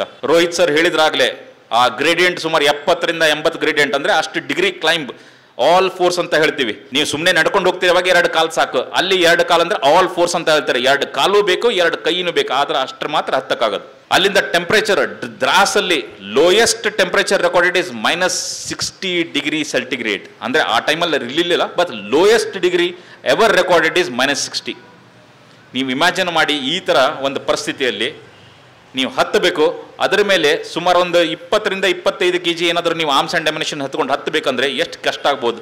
Forget about fighting the war climbing and the weather itself is an adversary ಅದ್ರ ಜೊತೆ ಮೊದಲನೇ ಹೋರಾಟ, ಬೆಟ್ಟ ಹತ್ತೋದು, ಆ ಒಂದು ವಾತಾವರಣದ ಜೊತೆ ಹೋರಾಡೋದು, ಅದು ಮೊದಲನೇ ಯುದ್ಧ. ಶತ್ರುಗಳ ಜೊತೆ ಹೋರಾಡೋದು ಎರಡನೇ ಯುದ್ಧ. ನಮ್ಮ ಯೂನಿಟ್ ಮೊದಲನೇ ಯೂನಿಟ್ ಅಟ್ಯಾಕನ್ನು ಮಾಡಿದ್ದು point five one four zero ಅಂತ. ಹೇಳಿದಾಗ ಐದು ಸಾವಿರದ ಒಂದು ನೂರ ಅರವತ್ತು ಮೀಟರ್ಸ್ ಅಬೋ ಸಿ ಲೆವೆಲ್ ಆ ಎತ್ತರದಲ್ಲಿ ಹೋರಾಡ್ತೀವಿ. ನಾನು ಅದರಲ್ಲಿ ಡೈರೆಕ್ಟ್ ರೋಲ್ ಇರಲಿಲ್ಲ ಕ್ಯಾಪ್ಟನ್ ವಿಕ್ರಮ್ ಬತ್ರ ಮತ್ತು ಕ್ಯಾಪ್ಟನ್ ಸಂಜೀವ್ ಸಿಂಗ್ ಜಾಮ್ವಾಲ್ ಅಂತ ನೀವು ಕೇಳಿರ್ಬೋದು ವೀರಚಕ್ರ ವಿಜೇತರು. ಇವರಿಬ್ಬರು ಎಂಥ ಒಂದು ಅದ್ಭುತವಾದ ಅಟ್ಯಾಕನ್ನು ಮಾಡ್ತಾರೆ ಅಂದರೆ, ನಲವತ್ತೆಂಟು ಗಂಟೆ ಕಾಲ, ಅಂದರೆ ಎರಡು ದಿನಗಳ ಒಳಗಡೆ ಅಲ್ಲಿದ್ದಂಥ ಶತ್ರುಗಳನ್ನು ಹೊಡೆದು ಅಲ್ಲಿದ್ದಂಥ ಬಂಕರ್ ಮತ್ತು ಸಂಗಡಗಳನ್ನು ಧ್ವಂಸಪಡಿಸಿ, ಭಾರತದ ಬಾವುಟವನ್ನು ಅಲ್ಲಿ ಹಾರಿಸ್ತಾರೆ. ಅದಾದ ನಂತರ ಕ್ಯಾಪ್ಟನ್ ವಿಕ್ರಮ್ ಬತ್ರ ಅವರು ಇಷ್ಟೆಲ್ಲ ಇದರ ಮಧ್ಯೆ, ಹೋರಾಟದ ಮಧ್ಯೆ, ಕಷ್ಟದ ಮಧ್ಯೆ ಏ ದಿಲ್ ಮಾಂಗೆ ಮೋರ್ ಅಂತ ಹೇಳ್ತಾರೆ ಅಂದ್ರೆ ಆ ವ್ಯಕ್ತಿಯ ವ್ಯಕ್ತಿತ್ವ ಹೇಗಿರ್ಬೇಕು ಒಂದ್ಸಲ ಯೋಚನೆ ಮಾಡಿ ನೋಡಿ. ನಮ್ಮ ಮೊದಲನೇ ಅಟ್ಯಾಕ್ ನಾನು ರಿಸರ್ವಲ್ಲಿದ್ದೆ ಅವರಿಗೆ ಆ ಇಬ್ಬರು ಸೈನ್ಯದ ಅಧಿಕಾರಿಗೆ ಏನಾದರೂ ಆಗಿದ್ರೆ ನಾನು ಅವ್ರನ್ನ ರಿಪ್ಲೇಸ್ ಮಾಡಬೇಕಾಗಿತ್ತು ಅದೃಷ್ಟವಷ್ಟ ಅವ್ರು ಏನೂ ಆಗಲಿಲ್ಲ. As a matter of fact ಆ ಯುದ್ಧದಲ್ಲಿ, ಆ ಒಂದು ಪಾಯಿಂಟ್ ಫೈವ್ ಒನ್ ಫೋರ್ ಜೀರೋದಲ್ಲಿ ನಮ್ಮ ಒಂದೂ ಕ್ಯಾಶುವಲ್ಟಿ ಕೂಡ ಇರಲಿಲ್ಲ. ಇವತ್ತಿಗೂ ಕೂಡ ನಮ್ಮ ಹೈಯರ್ ಡಿಫೆನ್ಸ್ ಮ್ಯಾನೇಜ್ಮೆಂಟ್ ಕಾಲೇಜ್ ಅಂತ ಇದೆ. ಆ ಕಾಲೇಜಿನಲ್ಲಿ ಈ ಒಂದು ಅಟ್ಯಾಕನ್ನು ಇವತ್ತಿಗೂ ಕೇಸ್ ಸ್ಟಡಿಯಾಗಿ ಮಾಡ್ತಾರೆ. ಅಂತ ಒಂದು ಅದ್ಭುತವಾದ ಅಟ್ಯಾಕನ್ನು ಈ ಇಬ್ಬರು ಸೈನ್ಯದ ಅಧಿಕಾರಿಗಳು ಮಾಡ್ತಾರೆ. ಎರಡನೇ attack point four eight seven five ಅಂತ. ಅಂದರೆ ನಾಲ್ಕು ಸಾವಿರದ ಎಂಟುನೂರ ಎಪ್ಪತ್ತೈದು ಎಪ್ಪತ್ತೈದು ಮೀಟರ್ಸ್ ಅಬೋ ಸಿ ಲೆವೆಲ್ ಅದನ್ನು ಮ್ಯಾಪಲ್ಲಿ ನಮಗೊಂದು ಒಂದು ಮೆಸೇಜ್ ಬರುತ್ತೆ, ನೀವು ಈ ಬೆಟ್ಟವನ್ನು ಅಟ್ಯಾಕ್ ಮಾಡ್ರಿ ಅಂತ. ಅವಾಗ ನಾವು ಮ್ಯಾಪಿಗೆ ಹೋಗಿ ನೋಡ್ತೀವಿ. ಮ್ಯಾಪಲ್ಲಿ ಫೋರ್ ಏಟ್ ಸೆವೆನ್ ಫೈವ್ ಎಲ್ಲಿದೆ ಅಂತ. ಆ ಮ್ಯಾಪ್ನಲ್ಲಿ ಆ ಒಂದು ಬೆಟ್ಟವನ್ನು ಐಡೆಂಟಿಫೈ ಮಾಡಿ ಅದಕ್ಕೆ ಪ್ಲಾನ್ ಚೆಕ್ಔಟ್ ಮಾಡ್ತೀವಿ. ಡಿ ಡೇ ಅಂತ ಹೇಳ್ತೀವಿ. ಜುಲೈ ನಾಲ್ಕು ಹತ್ತೊಂಬತ್ತು ನೂರ ತೊಂಬತ್ತೊಂಬತ್ತು. ಜುಲೈ ನಾಲ್ಕಕ್ಕೆ ಡೇಟ್ ಡಿಸೈಡ್ ಆಗುತ್ತೆ, ಇವತ್ತು ನಾವು ಅಟ್ಯಾಕ್ ಮಾಡಬೇಕು ಅಂತ. ಆದರೆ ಹಿಂದಿನ, ಹಿಂದಿನಗಳ ಕಾಲಗಳ ಎಲ್ಲ ನಮ್ದು ಪೂರ್ವ ತಯಾರಿ ನಡೀತಾ ಇರುತ್ತೆ. ಎಲ್ಲ ನಾವು ಡಿಸೈಡ್ ಮಾಡಿರ್ತೀವಿ ಯಾರು ಅಟ್ಯಾಕ್ ಮಾಡಬೇಕು ಮೀಡಿಯಂ ಮಷಿನ್ ಗನ್ ಯಾರು ಒಯ್ಬೇಕು ಲೈಟ್ ಮಷಿನ್ ಗನ್ ಯಾರು ತೊಗೊಂಡು ಹೋಗ್ಬೇಕು ರಾಕೆಟ್ ಲಾಂಚರ್ ಯಾರು ತಗೋಬೇಕು ರೇಡಿಯೋ ಸಿಗ್ನಲ್ ನಮ್ಮ ಯಾಕೆ ಫ್ರೀಕ್ವೆನ್ಸಿಯಲ್ಲಿ ನಮ್ಮ ರೇಡಿಯೋ ಸಿಗ್ನಲ್ ಸೆಟ್ ಆಗಬೇಕು ರೇಡಿಯೋ ಸೈಲೆನ್ಸ್ ಎಲ್ಲಿಂದ ಎಲ್ಲಿವರೆಗೂ ಮೇಂಟೈನ್ ಮಾಡಬೇಕು, ನಮ್ಮ ಸಕ್ಸಸ್ ಸಿಗ್ನಲ್ ಏನಿರಬೇಕು, ನಮ್ಮ ಕೋಡ್ ನೇಮ್ ಏನಿರಬೇಕು, ಇದನ್ನೆಲ್ಲ ಸಿದ್ಧತೆಯನ್ನು ಮಾಡ್ಕೊತೀವಿ. ಜುಲೈ ನಾಲ್ಕು ಹತ್ತೊಂಬತ್ತು ನೂರ ತೊಂಬತ್ತೊಂಬತ್ತು ಡೇ ಆಫ್ ದಿ ಅಟ್ಯಾಕ್ ಆದರೆ ಹಿಂದಿನ ಎರಡು ದಿವಸದಿಂದ ನನ್ನ ಹೆಲ್ಪರ್ ಅಂತ ಏನು ಹೇಳಿದ್ದೆ, ಬಡಿ ಅಂತ ಏನು ಹೇಳಿದ್ದೆ, ಶ್ಯಾಮ್ ಸಿಂಗ್ ಅವನಿಗೆ ಹುಷಾರಿರ್ಲಿಲ್ಲ. ಅದಕ್ಕೆ ನಾನು ಒಂದು ಮೆಸೇಜ್ ನಮ್ಮ ಸೀನಿಯರ್ ಜೋಸಿಗೆ ಮೆಸೇಜ್ ಕೊಡ್ತೀನಿ. ಶ್ಯಾಮ್ ಸಿಂಗಿಗೆ ಹೇಳಿಬಿಡಿ, ಅವ್ನು ಯುದ್ಧಕ್ಕೆ ಬರೋದು ಬೇಡ. ಯುದ್ಧಕ್ಕೆ ಹೋಗ್ತಾ ಇದ್ದೀವಿ ಎಷ್ಟು ದಿನ ಆಗುತ್ತೋ, ಎಷ್ಟು ದಿನದ ಬಂದಿವೆ ವಾಪಸ್ ಬರ್ತೀವೋ, ಅವ್ನು ಇನ್ನೂ ಫುಲ್ ಚೇತರಿಸ್ಕೊಂಡಿಲ್ಲ. ಹೆಂಗೆ ಯುದ್ಧ ಮಾಡ್ತಾನೆ, ಅದಕ್ಕೆ ಅವ್ನು ರೆಸ್ಟ್ ತಗೊಳ್ಳಿ ಅಂತ ಒಂದು ಮೆಸೇಜ್ ಕೊಟ್ಟೆ. ಆ ಸೀನಿಯರ್ ಜೋಸಿ ಯಾವಾಗ ಹೋಗಿ ಅವ್ರು ಶಾಮೆ ಶಾಮೆ ಅಂತ ಕರಿತಾ ಇದ್ನಲ್ಲ ಶಾಮೆಗೆ ಯಾವಾಗ ಹೋಗಿ ಹೇಳ್ತಾರೋ, ಅವ್ನು ಓಡ್ ಬರ್ತಾನೆ ನನ್ನ ಹತ್ರ. ಓಡ್ ಬಂದು ಹೇಳ್ತಾನೆ ಕೋಟ್ ಅನ್ ಕೋಟ್ ಸಾಬ್, ಅಚ್ಚೆ ದಿನ ಮೇ ಆಪ್ಕೆ ಸಾತ್ತ ಅಂದರೆ ಒಂದು ಒಳ್ಳೆ ಸಮಯದಲ್ಲಿ ನಿಮ್ಮ ಜೊತೆಗಿದ್ದೆ. ಕಷ್ಟದ ಸಮಯ ಬಂದಿದೆ, ನಿಮ್ಮನ್ನ ಯುದ್ಧಕ್ಕೆ ಹೇಗೆ ಕಳಿಸ್ಕೊಡ್ಲಿ? ಬೈ ಚಾನ್ಸ್ ನಿಮಗೆ ಏನಾದರೂ ಅಲ್ಲಿ ಆಗ್ಬಿಟ್ರೆ, ಜೀವನ್ ಪರ್ಯಂತ ನನ್ನ ಮುಖವನ್ನ, ನನ್ನ ಯೂನಿಟ್ನಲ್ಲಿ, ನನ್ನ ಮನೆಯಲ್ಲಿ ಎತ್ಕೊಂಡು ಹೇಗೆ ಓಡಾಡ್ಲಿ ಅಂತ ಕೇಳ್ತಾನೆ. ಆ ಒಂದು ಕಮಿಟ್ಮೆಂಟ್ ನೋಡಿ ನನಗೆ ಬೇಡ ಅನ್ನಕ್ ಆಗ್ಲಿಕ್ಕಿಲ್ಲ. ನಾನು ಆಯ್ತಪ್ಪ, ಸರಿ, ನೀನು ಯುದ್ಧಕ್ಕೆ ಬಾ, ನಿನ್ನ ವೆಪನ್ಸ್ ನೀನು ಕಲೆಕ್ಟ್ ಮಾಡ್ಕೊ ಅಂತ ಹೇಳಿದೆ. ಅವನು ಕಲೆಕ್ಟ್ ಮಾಡಕ್ ಓಡ್ತಾ ಇರ್ಬೇಕಾರೆ ಜಿಗಿತಾ ಇದ್ದ ಹಿಂಗ್ ಪಂಪಿಂಗ್ ಫಿಸ್ಟ್ ಇಂದ ಅಂತಾರ ಅದು ಮಾಡ್ತಿದ್ ಕಾಣ್ತಾ ಇದ್ದೇನೆ. ನಾಲ್ಕನೇ ತಾರೀಕು ಜುಲೈ ರಾತ್ರಿ ಅಟ್ಯಾಕ್ ಅನ್ನ ಮಾಡಬೇಕು, ಮಧ್ಯಾಹ್ನ ಜೊತೆ ಕುತ್ಕೊಂಡು ಊಟ ಮಾಡ್ತಾ ಇದ್ದೆ. ಅವ್ರಿಗೆಲ್ಲರಿಗೂ ಹು ಹುರಿದುಂಬಿಸ್ತಾ ಇದ್ದೆ. ಈ ತರ ಒಂದು ಅವಕಾಶ ಸಿಗಲ್ಲ ಅಂತ ಹೇಳ್ತಾ ಇದ್ದೆ. ನಮ್ಮ ಯೂನಿಟ್ ಅಲ್ಲಿ ಒಂದೆರಡು ಪದ್ಧತಿ ಇರ್ತವೆ. ಆ ಪದ್ಧತಿನ ಫಾಲೋ ಮಾಡಬೇಕು. ಆ ಪದ್ಧತಿಗಳು ಏನು ಅಂತಂದ್ರೆ, ನನ್ನ ಯೂನಿಟ್ನ ನೂರಿಪ್ಪತ್ತು ಜನ, ನನ್ನ ಆರು ಆರು ತಿಂಗಳ ಅಲ್ಲಿ ಸುಮಾರು ಇಪ್ಪತ್ಮೂರು, ಇಪ್ಪತ್ನಾಲ್ಕು ವರ್ಷ ನನಗೆ ವಯಸ್ಸು. ಆ ಒಂದು ವಯಸ್ಸು, ಆರು ತಿಂಗಳ ಸರ್ವಿಸ್ ಅಲ್ಲಿ ನೂರಿಪ್ಪತ್ತು ಜನನ್ನ ಎದುರಿಗೆ ನಿಂದಿರಿಸಿ ನಾನು ಹೇಳಬೇಕು, ನೀವೊಂದು ಪತ್ರ ಬರೆದಿಡಿ ನೀವು ಯುದ್ಧದಿಂದ ಬರ್ಲಿಲ್ಲಿದ್ರೆ ಆ ಪತ್ರವನ್ನ ನೀವು ಯಾರಿಗೆ ಬರೆದಿರ್ತೀವರಲ್ಲ, ಅವ್ರಿಗೆ ಆ ಪತ್ರವನ್ನ ತಲುಪಿಸ್ತೀವಿ. ನೀವು ಯುದ್ಧದಿಂದ ಬಂದ್ರೆ ಅದನ್ನ ವಾಪಸ್ ಕೊಡ್ತೀವಿ ಅಂತ. ನಿಮಗೆ ಬಹಳ ಸಹಜ ಅನ್ಸುತ್ತೆ ಬಟ್ ನೀವು ನನ್ನ ಶೂಸ್ ಅಲ್ಲಿ ಇದ್ದು ನಿಂತ್ಕೊಂಡು, ನನ್ನ ಇದರಲ್ಲಿ ಇದ್ದು ನಿಂತ್ಕೊಂಡು ನೋಡಿ, ಆರು ತಿಂಗಳ ಸರ್ವಿಸ್ ಅಲ್ಲಿ ನೂರ ಇಪ್ಪತ್ತು ಜನನ್ನ ಎದುರಿಗೆ ನಿಂದಿರಿಸಿ, ನೀವು ಯುದ್ಧದಿಂದ ವಾಪಸ್ ಬರದೇ ಇದ್ರೆ ಅಂದ್ರೆ ನೀವು ಯುದ್ಧದಲ್ಲಿ ಸಾಯ್ಬೋದು ಅಂತಂದು ಅವ್ರ ಕಣ್ಣಲ್ಲಿ ಕಣ್ಣಿಟ್ಟು ಏನ್ ನೋಡಿ ಹೇಳೋದಿಲ್ಲ, ತುಂಬಾ ಕಷ್ಟದ ಕೆಲಸ. ಆ ಒಂದು ಪದ್ಧತಿಯನ್ನ ಮಾಡಲೇಬೇಕಾಯ್ತು, ಮಾಡಿದೆ. ಎರಡನೇ ಪದ್ಧತಿ ಏನು ಅಂದ್ರೆ, ಇನ್ನೇನು ಯುದ್ಧಕ್ಕೆ ಹೋಗಿಂತ ಮುಂಚೆ ನಮ್ಮ ಬಿಲಾಂಗಿಂಗ್ಸ್ ಎಲ್ಲ ಡೆಪಾಸಿಟ್ ಮಾಡ್ತೀವಿ. ನಮ್ಮ ರ್ಯಾಂಕ್ ಇರ್ಬೋದು, ನಮ್ಮ ನೇಮ್ ಇರ್ಬೋದು, ನಮ್ಮ ಐಡೆಂಟಿಟಿ ಕಾರ್ಡ್ ಇರ್ಬೋದು, ನಮ್ಮ ಪರ್ಸಲ್ ಇದ್ದಂತ ವಸ್ತುಗಳು ಎಲ್ಲದನ್ನು ಡೆಪಾಸಿಟ್ ಮಾಡ್ತೀವಿ. ಅದಕ್ಕೊಂದು ಬಲವಾದ ಕಾರಣ ಇದೆ. ಏನಕ್ಕೆ ಅಂದ್ರೆ, ನಾವಲ್ಲಿ ಇದ್ದಕ್ಕೆ ಹೋದಾಗ ಇವನ್ನೆಲ್ಲ ನೇಮ್ ಟ್ಯಾಬು ರ್ಯಾಂಕು ಅದನ್ನೆಲ್ಲ ಹಾಕೊಂಡು ಹೋದ್ರೆ ಐಡೆಂಟಿಟಿ ಕಾರ್ಡ್ ಹಿಡ್ಕೊಂಡು ಹೋದ್ರೆ, ಎಲ್ಲ ಗೊತ್ತಾಗ್ಬಿಡುತ್ತೆ. ನಮ್ಮನ್ನ ಯುದ್ಧ ಬಂಧಗಳ ತಗೊಂಡ್ರೆ ನಮ್ಮ ಹೆಸರೇನು, ನಮ್ಮ ಯೂನಿಟಿನ ಹೆಸರೇನು, ಎಲ್ಲ ಗೊತ್ತಾಗತ್ತೆ. ಅದಕ್ಕೆ ನಾವು ಎಲ್ಲ, ಒಬ್ಬ ಸಾಮಾನ್ಯ ಸೈನಿಕರು, ಒಬ್ಬ ಸೈನಿಕ ಅಧಿಕಾರಿಗಳು ಏನು ಡಿಫ್ರೆನ್ಸ್ ಇರಬಾರ್ದು, ಎಲ್ಲರೂ ಈಕ್ವಲ್ ಅಂತ ಎಲ್ಲ ಡಿಪಾಸಿಟ್ ಮಾಡ್ತೀವಿ. ಅದು ಕೂಡ ಸುಲಭ ಅನ್ಸುತ್ತೆ ನಿಮಗೆ. ಬಟ್ ಯೋಚನೆ ಮಾಡಿ ನೋಡಿ ಒಂದ್ಸಲ, ನಾನು ಎಷ್ಟೋ ಜನ ಸೈನಿಕರನ್ನು ನೋಡ್ತಾ ಇದ್ದೀನಿ. ಆ ಪರ್ಸನ್ನ ತೆಗೆದಿದ್ದಾರೆ, ಅವರ ತಂದೆ ತಾಯಿ ಫೋಟೋ ಇರ್ಬೋದು, ಅವರ ಮಕ್ಕಳ ಫೋಟೋ ಇರ್ಬೋದು, ಅದನ್ನ ನೋಡ್ತಾ ಕಣ್ಣೀರು ಹಾಕ್ತಾ ಇದ್ದಾರೆ. ಏನು ಅನ್ಕೊಂತಾ ಇರ್ಬೋದು ಬಹುಶಃ ಅವರು? ಸಾವಿರಾರು ದೂರದ ಮೈಲಿಯಲ್ಲಿ ಸಾವಿರಾರು ಕಿಲೋಮೀಟರ್ ದೂರದಲ್ಲಿ ಎಲ್ಲಾದರೂ ಅವ್ರ ಕೊನೆ ಉಸಿರಿ ಎಳಿಬೇಕಾದ ಪರಿಸ್ಥಿತಿ ಬಂದ್ರೆ ಅವರ ನೆರೆಹೊರೆಯವ್ರ ಜೊತೆ, ಅವ್ರ ತಂದೆ ತಾಯಿ, ಅವ್ರ ಮಕ್ಕಳ ಜೊತೆ, ಅವ್ರ ವೈಫ್ ಜೊತೆ ಮಾತಾಡದಷ್ಟು ಇದ್ರಲ್ಲಿ ಅವ್ರ ಫೋಟೋ ಕೂಡ ನೋಡೋಕ್ಕಾಗಲ್ಲ ಅಂತ ಎಲ್ಲರೂ ಕಣ್ಣೀರು ಹಾಕ್ತಾ ಒಂದು ಇದನ್ನ ಎಲ್ಲ ಡೆಪಾಸಿಟ್ ಮಾಡ್ತಾ ಇದ್ದಾರೆ ನಾನು ಕೂಡ ಪತ್ರವನ್ನು ಬರೆದಿದ್ದೆ, ಅದನ್ನ ಡೆಪಾಸಿಟ್ ಮಾಡಿದೆ, ನನ್ನ ಬಿಲಾಂಗಿಂಗ್ಸ್ ಎಲ್ಲ ಡೆಪಾಸಿಟ್ ಮಾಡಿದೆ. ಸಾಯಂಕಾಲ ಆಗ್ತಾ ಬರ್ತಾ ಇದೆ, ಅಲ್ಲಿದ್ದಂತ ಪಂಡಿತ್ಜಿ ಇರ್ತಾರೆ ಎಲ್ಲ ಯೂನಿಟ್ ಅಲ್ಲಿ. ಪಂಡಿತ್ಜಿ ಹವನನ್ನ ಮಾಡ್ತಾರೆ, ಬಂದು ತಿಲಕ್ಕಿಗೆ ಹಚ್ತಾರೆ. ನನ್ನ ವೆಪನ್ಗೂ ತಿಲಕ್ ಹಚ್ಚಿದ್ರು, ನನಗೂ ತಿಲಕ್ ಹಚ್ಚಿದ್ರು. ಅವಾಗ ಸಾಬ್ ಹಿಮ್ಮತ್ ನೈ ಹಾರ್ನ ಆಪ್ಕೋ ಬಹುತ್ ಆಗೇ ಜಾನ ಅಂತಂದು ಪಂಡಿತ್ಜಿ ಹೇಳ್ತಾರೆ. ನನಗೆ ಎದಕ್ಕಂದ್ರು ಇವತ್ತಿಗೂ ಕೂಡ ಅವತ್ ಅವತ್ ಅನಿಸಿರಲಿಲ್ಲ ಗೊತ್ತಾಗಿರಲಿಲ್ಲ ಆ ಸಮಯದಲ್ಲಿ ನನಗೆ ಗೊತ್ತಾಗ್ಲಿಲ್ಲ. ಕೊನೆ ಪದ್ಧತಿ ಏನಂದ್ರೆ ನಮ್ಮ ಯೂನಿಟಿನ ಆಫೀಸರ್ಸ್ ಎಲ್ಲರೂ ನಿಂತ್ಕೊಂಡಿರ್ತಾರೆ. ಒಬ್ಬೊಬ್ಬರಿಗೆ ಒಬ್ಬೊಬ್ಬರಿಗೆ ಹೋಗಿ ಒಂದ್ಸಲ ಶೇಕನ್ ಮಾಡಿ ತಪ್ಕೋಬೇಕು. ಫಸ್ಟ್ ನಮ್ಮ ಕಮಾಂಡಿಂಗ್ ಆಫೀಸರ್ ಆಗಿದ್ದಂತ ಕರ್ನಲ್ ವೈ ಕೆ ಜೋಶಿ ಅವ್ರು ನಿಂತ್ಕೊಂಡಿದ್ರು. ಅವ್ರ ಹತ್ರ ಹೋದೆ. ಅವ್ರ ಹತ್ರ ಹೋಗಿ ಹಿಂಗೆ ಶೇಕನ್ ಮಾಡಿ ಅಂತ ಹಗ್ ಮಾಡಿದ್ರು. ಅವ್ರು ಹೇಳಿದ್ರು, Naveen you take care of you men men will take care of you ಅಂದ್ರೆ ನೀನು ನಿನ್ನ ಜವಾನ್ಸ್ನ ನೋಡ್ಕೋ, ಜವಾನ್ಸ್ ನಿನ್ನ ನಾನು ಸರಿಯಾಗಿ ನೋಡ್ಕೊಂತಾರೆ ಅಂತ ಅದು ಎದಕ್ಕೆ ಹೇಳಿದ್ರು? ಆ ಸಮಯದಲ್ಲಿ ಗೊತ್ತಾಗಲಿಲ್ಲ. ಒಬ್ಬರೇ ಒಬ್ಬರೇ ಆಫೀಸರ್ ಮೀಟ್ ಮಾಡ್ತಾ ಮಾಡ್ತಾ ಮಾಡ್ತಾ ಬಂದೆ. ಕೊನೆಯಲ್ಲಿ ಕ್ಯಾಪ್ಟನ್ ವಿಕ್ರಮ್ ಬತ್ರ ನಿಂತಿದ್ದಾರೆ. Captain Vikram Batra is already a famous ಅವ್ರ ಇಂಟರ್ವ್ಯೂ ಬಂದಿದೆ ಪೇಪರ್ ಇದರಲ್ಲಿ ನ್ಯೂಸ್ ಅಲ್ಲಿ ಅವ್ರ ಪೇಪರ್ ಫೋಟೋಗ್ರಾಫ್ ವೆಪನ್ಸ್ ಏನು ಕ್ಯಾಪ್ಚರ್ ಮಾಡಿದ್ರಲ್ಲ, ಅದೆಲ್ಲ ಪೇಪರ್ ಅಲ್ಲಿ ಬಂದಿದೆ. ಅವ್ರ ಹತ್ರ ಹೋಗ್ತೀನಿ. ಅವ್ರು ಏನಾದ್ರೂ ಒಂದು ಒಂದು ಒಳ್ಳೆ ಜೋಶ್ ಬರ ಇದನ್ನ ಹೇಳ್ತಾರೆ ಅಂತಂದು ಅವ್ರು, ಅವ್ರ ಹತ್ರ ಹೋಗಿ ಹಿಂಗೆ ಮೀಟ್ ಮಾಡಿದೆ. ತಪ್ಕೊಂಡು ನನ್ನನ್ನು ಗಲೆ ಲಗ್ನ ಯಾರ್? ನಜಾನೆ ಕೋನ್ಸಿ ಮುಲಾಕಾತ್ ಆಕ್ರಿ ಹೋಗಿ ಅಂತ ಅಲ್ಲಿವರೆಗೂ ನಾನು ನನ್ನ ಜವಾನ್ಸನ್ನ ಹುರಿದುಂಬಿಸ್ತಾ ಇದ್ದೆ. ಈ ಥರ ಒಂದು ಅವಕಾಶ ಸಿಗಲ್ಲ. ಈ ಥರ ಒಂದು ಒಂದು ಸುನೇರ ಮತ್ತು ಹಿಸ್ಟ್ರಿನ ಕ್ರಿಯೇಟ್ ಮಾಡ್ಬೋದು ನಾವು ಅಂತ ಹೇಳ್ತಾ ಇದ್ದೆ. ಅವಾಗ ನನ್ನ ಅನಿಸ್, ಅನಿಸ್ತು, ನಾನು ಯುದ್ಧದಿಂದ ವಾಪಸ್ ಬರಲಿಕ್ಕಿಲ್ಲ ಅಂತ. ಕತ್ಲಾಗ್ತಾ ಬರ್ತಾ ಇದೆ. ರೆಡಿ ಆದ್ವಿ. ಒಂದು ಲೈನಪ್ ಅಂತ ಫಾರ್ಮೇಶನ್ ಲೈನಪ್ ಆದ್ವಿ. ನಮ್ಮ ವೆಪನ್ಸ್ನ ಎಲ್ಲ ಚೆಕ್ ಮಾಡ್ಕೊಂಡ್ವಿ. ರೇಡಿಯೋ ಸೆಟ್ ಎಲ್ಲ ಒಂದ್ಸಲ ಸರಿ ಇದೇನೋ ಎಲ್ಲ ನೋಡಿಕೊಂಡು. ನಮ್ಮ ಯೂನಿಟಿನ ವಾರ್ ಕ್ರೈ ನಮ್ಮ ಯೂನಿಟಿನ ವರ್ಕರ್ ಕ್ರೈ ದುರ್ಗೆ ಮಾತಾ ಕಿ ಜಯ ಅಂತ. ಒಂದು ಸಲ ದುರ್ಗೆ ಮಾತಾ ಕಿ ಜಯ ಅಂತ ಕೂಗಿದ ನಂತರ ನನ್ನ ಹಿಂದಿದ್ದಂಥ ನೂರ ಇಪ್ಪತ್ತು ಜನ ಒಂದೇ ಸಲ ದುರ್ಗೆ ಮಾತಾ ಕಿ ಜಯ ಅಂತ ಕೂಗಿದ್ರಂದ್ರೆ ಎಂಥ ಒಂದು ಅಟ್ಮಾಸ್ಫಿಯರ್ ಎಲೆಕ್ಟ್ರಿಫೈಯಿಂಗ್ ಅಟ್ಮಾಸ್ಫಿಯರ್ ಅಂದರೆ, ಅಲ್ಲಿವರೆಗೂ ಬಹುಶಃ ನಮಗೆ ಏನೋ ಆದ್ರೂ ಒಂದು ಫಿಯರ್ ಆಫ್ ಅನ್ಸರ್ಟಂಟಿ ಅಂತ ಹೇಳ್ತೀವಿ. ಅಂದರೆ ಎಷ್ಟು ದಿನ ಆಗುತ್ತೋ, ಎಷ್ಟು ಜನ ವಾಪಸ್ ಬರ್ತೀವೋ, ಹೆಂಗೆ ವಾಪಸ್ ಬರ್ತೀವೋ, ಕಾಲಲ್ಲಿ ನಡ್ಕೊಂಡು ವಾಪಸ್ ಬರ್ತೀವೋ ಇಲ್ಲೋ, ಇದೆಲ್ಲ ಫಿಯರ್ ಆಫ್ ಅನ್ಸರ್ಟಂಟಿ ಅಂತ ಹೇಳ್ತಾರೆ. ಅಲ್ಲಿವರೆಗೂ ಫಿಯರ್ ಆಫ್ ಅನ್ಸರ್ಟಂಟಿ ಅಂತ ಇತ್ತೇನೋ ಒಂದು ಸಲ ನಾವು ದುರ್ಗೆ ಮಾತಾ ಕೀಜೆ ಅಂತ ಕೂಗಿದ ನಂತರ, ನಮ್ಮ ತಲೆಯಲ್ಲಿ ಇದ್ದಿದ್ದು ಒಂದೇ, ಹೇಗಾದರೂ ಮಾಡಿ point four eight seven five ಮೇಲೆ ಭಾರತದ ಬಾವುಟವನ್ನು ಹಾರಿಸಬೇಕು ಅನ್ನೋದು ಬಿಟ್ರೆ ನಮ್ಮ ತಲೆಯಲ್ಲಿ ಏನೂ ಇರಲಿಲ್ಲ. ಜುಲೈ ನಾಲ್ಕು, ಹತ್ತೊಂಬತ್ತು, ನೂರ ತೊಂಬತ್ತೊಂಬತ್ತು ಹತ್ಲಿಕ್ಕೆ ಶುರು ಮಾಡ್ತೀವಿ. ಒಂದು ಬೆಟ್ಟವನ್ನ ಅಟ್ಯಾಕ್ ಮಾಡಬೇಕು ಅಂದ್ರೆ ಬೆಟ್ಟದ ತುದಿಯಲ್ಲಿ ಒಂದು ನಾಲ್ಕು ಜನ ಕುತ್ಕೊಂಡಿರ್ತಾರೆ, ಒಂದು ಬಂಕರ್ನ ಕಟ್ಕೊಂಡಿರ್ತಾರೆ, ಹಾಗಿರಲ್ಲ. ರಿಜ್ ಲೈನ್ ಅಂತ ಹೇಳ್ತೀವಿ ಅಂದ್ರೆ ಎಲ್ಲಿಗೆ ಹತ್ಲಿಕ್ಕೆ ಸಾಧ್ಯನೋ ಅಲ್ಲಲ್ಲಿ ಬಂಕರ್ ಮತ್ತು ಸಂಗಡಗಳನ್ನ ಕಟ್ಕೊಂಡಿರ್ತಾರೆ. ಬಂಕರ್ ಐ ಆಮ್ ಶೂರ್ ಇವನು ಬಂಕರ್ ಅಂದ್ರೆ ಕಲ್ಲಿನ ಗೋಡೆ ಓವರ್ ಹೆಡ್ ಶೆಲ್ಟರ್ ಇರುತ್ತೆ. ಸಂಗಡ್ ಅಂದ್ರೆ ಬರೀ ಕಲ್ಲಿನ ಗೋಡೆ ಕಟ್ಕೊಂಡಿರ್ತಾರೆ. ಮಧ್ಯ ಒಂದು ಕಲ್ಲನ್ನು ತೆಗೆದು ಅಲ್ಲಿ ವೆಪನ್ ಇಟ್ಕೊಂಡು ಶೂಟ್ ಮಾಡ್ತಾ ಇರ್ತಾರೆ. ಅಂದ್ರೆ ಅವರು ಆ ಕಲ್ಲಿನ ಹಿಂಭಾಗ ನಾವು ಓಪನ್ನಲ್ಲಿ. ಒಂದು ಬೆಟ್ಟ ಅಟ್ಯಾಕ್ ಮಾಡಬೇಕು ಅಂದರೆ ಸುಮಾರು ಸಂಗಡ ಬಂಗಗಳು ಇರ್ತವೆ, ಅದನ್ನು ಕ್ಲಿಯರ್ ಮಾಡ್ತಾ ಮಾಡ್ತಾ ನಾವು ತುದಿವರೆಗೂ ಹೋಗಬೇಕಾಗುತ್ತೆ. ಐದನೇ ತಾರೀಕು ಬೆಳಗಿನ ಜಾವ ನಾವು ಎಲ್ಲಿವರೆಗೂ ಹೋಗ್ತೀವಿ ಅಂದರೆ ಫಸ್ಟ್ ಒಂದು ನಾ ಮೂರು ಬಂಕರ್ ಕಾಣಿಸ್ಕೊಳುತ್ತೆ ಅವಾಗ ನಾನು ಅನ್ಕೊಂತೀನಿ, ಒಂದೇ ಸಲ ನೂರಿಪ್ಪತ್ತು ಜನ ನುಗ್ಗಕ್ಕೆ ಹೋದರೆ ಆ ಒಂದು ಸರ್ಪ್ರೈಸ್ ಎಲಿಮೆಂಟ್ ಅಂದರೆ ಅವ್ರಿಗಿನ್ನೂ ಗೊತ್ತಿಲ್ಲ ನಾವು ಅಟ್ಯಾಕ್ ಮಾಡಿದ್ದೀವಿ ಅಂತ. ಆ ಒಂದು ಸರ್ಪ್ರೈಸ್ ಎಲಿಮೆಂಟ್ ಎಲ್ಲಿ ಕಳ್ಕೊತೀವೋ ಅಂತ ನಾನೇನು ಮಾಡ್ತೀನಿ, ಒಂದು ಹತ್ತು ಜನನ ಸೆಲೆಕ್ಟ್ ಮಾಡ್ತೀನಿ. ಲೆಫ್ಟ್ ಸೈಡ್ ಇರೋ ಒಂದು ಬಂಕರ್ನ ಮೂರು ಜನ ಅಟ್ಯಾಕ್ ಮಾಡಬೇಕು. ನಾನು ಮತ್ತೆ ನಾಲ್ಕು ಜನ ಮಧ್ಯದ ಬಂಕರ್ ರೈಟ್ ಸೈಡ್ ಬಂಕರ್ನ ಮೂರು ಜನ. ಐಡಿಯಾ ಹೆಂಗೆ ಪ್ಲಾನ್ ಹೇಗೆ ಅಂದರೆ ಅದ್ರ ಹತ್ರ ತವಳ್ತಾ ತವಳ್ತಾ ಹೋಗೋದು. ಕ್ರಾಲ್ ಮಾಡ್ತೀವಿ ಅಂತೆಲ್ಲ? ತವಳ್ತಾ ಹೋಗೋದು. ಸೌಂಡ್ ಇಲ್ದಂಗೆ ನಾವೇ ಹತ್ತು ಜನ ಅದನ್ನ ಅಟ್ಯಾಕನ್ನು ಲಾಂಚ್ ಮಾಡಬೇಕು. ಇನ್ನು ಉಳಿದವರೆಲ್ಲ ಹಿಂದೆ ಇರಬೇಕು. ಸೌಂಡ್ ಆಗಬಾರ್ದು, ಅವ್ರಿಗೆ ಗೊತ್ತಾಗಬಾರ್ದು ಅಂತ ಪ್ಲಾನ್ ಮಾಡ್ತೀವಿ. ಕ್ರಾಲ್ ಮಾಡ್ತಾ ಮಾಡ್ತಾ ಮೂರು ಬಂಕರ್ ಹತ್ರ ಹೋಗ್ತೀವಿ. ನಾನು ನೋಡ್ತೀನಿ ಲೆಫ್ಟ್ ರೈಟ್ ಸೈಡ್ ಬಂಕರಲ್ಲಿ ಮೂರು ಜನ ಬಂದಿದ್ದಾರಾಗಲೇ ಅದ್ರ ಹತ್ರ ಅಡುಗೆ ಕೂತ್ಕೊಂಡಿದ್ದಾರೆ ಲೆಫ್ಟ್ ಸೈಡ್ ಮೂರು ಜನ ಅಡುಕೊಂಡ್ ಕೂತ್ಕೊಂಡಿದ್ದಾರೆ ನಾವು ಕೂಡ ಮಧ್ಯದ ಬಂಕರಲ್ಲಿ ರೀಚ್ ಆಗಿದ್ದೀವಿ. ಅದನ್ನು ನೋಡಿದ ತಕ್ಷಣ ನಾನು ಒಂದು ಸಿಗ್ನಲ್ ಅನ್ನ ಕೊಡ್ತೀನಿ. ಸಿಗ್ನಲ್ ಕೊಟ್ಟ ತಕ್ಷಣ ಹೆಲ್ ಬ್ರೇಕ್ ಲೂಸ್ ಅಂತ ಹೇಳ್ತಾರಲ್ಲ ಅಂದ್ರೆ ಬೆಟ್ಟದ ತುದಿ ಮೇಲೆ ಪೂರಾ ಸನ್ನಾಟ, ಪಿನ್ ಡ್ರಾಪ್ ಸೈಲೆನ್ಸ್ ಇದೆ. ನಾನು ಒಂದು ಸಲ ಸಿಗ್ನಲ್ ಕೊಟ್ಟೆ ನಮ್ಮಲ್ಲಿದ್ದಂಥ ಹ್ಯಾಂಡ್ ಗ್ರೆನೇಡ್ ಅಂತ ತಗೊಂಡ್ವಿ, ತಗೊಂಡು ಆ ಬಂಕರ್ ಒಳಗಡೆ ಎಸ್ದ್ವಿ. ಅವ್ರು ಇನ್ನೂ ರಿಯಾಕ್ಟ್ ಮಾಡೋಕ್ಕಿಂತ ಮುಂಚೆನೆ ನಮ್ಮಲ್ಲಿದ್ದಂಥ ವೆಪನ್ ತೊಗೊಂಡು ತಗೊಂಡು ಅದರಲ್ಲಿ ಫೈರ್ ಮಾಡೋಕ್ಕೆ ಸ್ಟಾರ್ಟ್ ಮಾಡಿದ್ವಿ. ಅಷ್ಟರೊಳಗೆ ಮೇಲ್ಗಡೆ ಕುಂತವ್ರಿಗೆ ಪಾಕಿಸ್ತಾನಿಗೆ ಗೊತ್ತಾಗ್ಬಿಡ್ತು ನಮ್ಮ ಮೇಲೆ ಅಟ್ಯಾಕ್ ಬಂದಿದೆ ಅಂತ. ಅವರು ಕೂಡ ಫೈರಿಂಗ್ ಸ್ಟಾರ್ಟ್ ಮಾಡಿದ್ರು. ಬಟ್ ಆ ಒಂದು ಸರ್ಪ್ರೈಸ್ ಎಲಿಮೆಂಟ್ ಅಲ್ಲಿ ಅವ್ರಿಗೆ ಗೊತ್ತಾಗೋಕ್ಕಿಂತ ಮುಂಚೆ ಆ ಮೂರು ಬಂಕರ್ಗಳನ್ನು ನಾವು ವಶಪಡಿಸ್ಕೊಂತೀವಿ. ವಶಪಡಿಸ್ಕೊಂಡು ಅವನ್ನ ಸ್ಯಾನಿಟೈಸ್ ಮಾಡ್ಬೇಕಂತ ಹೇಳ್ತಾರೆ. ಸ್ಯಾನಿಟೈಸ್ ಅಂದ್ರೆ ಅಲ್ಲಿದ್ದಂಥ ನಮ್ಮ ಶತ್ರುಗಳ ಶವ ಬಿದ್ದಿರ್ತವೆ, ಅದನ್ನ ತೆಗೆದು ಆಚೆ ಹಾಕಬೇಕು. ರಕ್ತ ಎಲ್ಲ ಸೋರು ಹೋಗಿರುತ್ತೆ ಐಸ್ ತೆಗೆದು ಅದ್ರ ಮೇಲೆ ಹಾಕಬೇಕಂದ್ರೆ ಅದು ಒಂದು ಸ್ವಲ್ಪ ವಾಶ್ ಆಗುತ್ತೆ ಕ್ಲೀನ್ ಆಗುತ್ತೆ. ಯಾಕಂದ್ರೆ ಅಲ್ಲೇ ನಿಂದಿರಬೇಕು, ಅಲ್ಲೇ ಕುತ್ಕೋಬೇಕಂದ್ರೆ ಆಗಲ್ಲ. ಅದಕ್ಕೆ ಐಸ್ ತೊಗೊಂಡು ಅದನ್ನೆಲ್ಲ ಹಾಕಿ ವೆಪನ್ಸ್ ಕೆಳಗಡೆ ಏನಿರ್ತವೆ ಅದನ್ನ ಮೇಲ್ಗಡೆಗೆ ಸೈಟ್ ಮಾಡಬೇಕು. ಅವ್ರೇನಾದ್ರೂ ಮೈನ್ಸ್ ಅಡಿಗಿಟ್ಟಿದ್ರೆ ಅದನ್ನೆಲ್ಲ ಡಿಫ್ಯೂಸ್ ಮಾಡಬೇಕು. ಇದನ್ನೆಲ್ಲ ಸ್ಯಾನಿಟೈಸ್ ಮಾಡ್ತಾ ಇದ್ವಿ. ಐದನೇ ತಾರೀಕು ಬೆಳಗಿನ ಜಾವ ಆಗ್ತಾ ಬರ್ತಾ ಇತ್ತು. ನಾನು ಎಡಗಡೆದ್ದು, ಬಲಗಡೆದ್ದು ಬಂಕರ್ ಆಕ್ಯುಪೈ ಆಗಿದ್ದೇನೋ ಇಲ್ಲೋ ವೆಪನ್ಸ್ ಕರೆಕ್ಟಾಗಿ ಮೇಲ್ಗಡೆ ಸೈಟ್ ಮಾಡಿದಾರಲ್ಲೋ ಇದನ್ನೆಲ್ಲ ನೋಡ್ಬೇಕಾರೆ ಹಿಂದೆ ನೋಡಿದಾಗ ನಮ್ಮ ಯೂನಿಫಾರ್ಮ್ ಹಾಕೊಂಡಂತ ಒಬ್ಬ ವ್ಯಕ್ತಿ ಕಳಕ್ ಕಳಕ್ ಮಾಡಿ ಬಿದ್ದು ಬಿಟ್ಟಿದ್ದಾನೆ ಅದನ್ನ ನೋಡಿದ್ರೆ ಗೊತ್ತಾಗುತ್ತೆ ಈ ವ್ಯಕ್ತಿ ಇಲ್ಲ ಅಂತ. ಯಾಕಂದ್ರೆ ಕೈ ಯಾವುದೋ ಥರ ಟ್ವಿಸ್ಟ್ ಆಗಿದೆ, ಕಾಲು ಯಾವುದೋ ಥರ ಟ್ವಿಸ್ಟ್ ಆಗಿದೆ, ನೋಡಿದ ತಕ್ಷಣ ಗೊತ್ತಾಗುತ್ತೆ ಬಟ್ ಯಾರಂತ ಗೊತ್ತಾಗ್ತಾ ಇಲ್ಲ.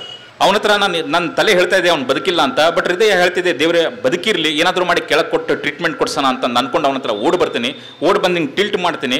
ಬಾಡಿ ಹಿಂಗೆ ತಿರುಗಿಸಿದಾಗ ಅವ್ನ ಮಕ್ಕ ಕಂಡಿದ್ದು ನಾನು ಶ್ಯಾಮ್ ಸಿಂಗ್ ಫಸ್ಟ್ ಎಷ್ಟು ಬೇಜಾರಾದ ಸಂಗತಿ ಅಂತಂದ್ರೆ, ಒಬ್ಬ ಸೈನ್ಯದ ಅಧಿಕಾರಿಯಾಗಿ ನೋಡಿ, ನಾನೊಂದು ಕಣ್ಣೀರು ಕೂಡ ಹಾಕೋಕ್ಕಾಗಲ್ಲ.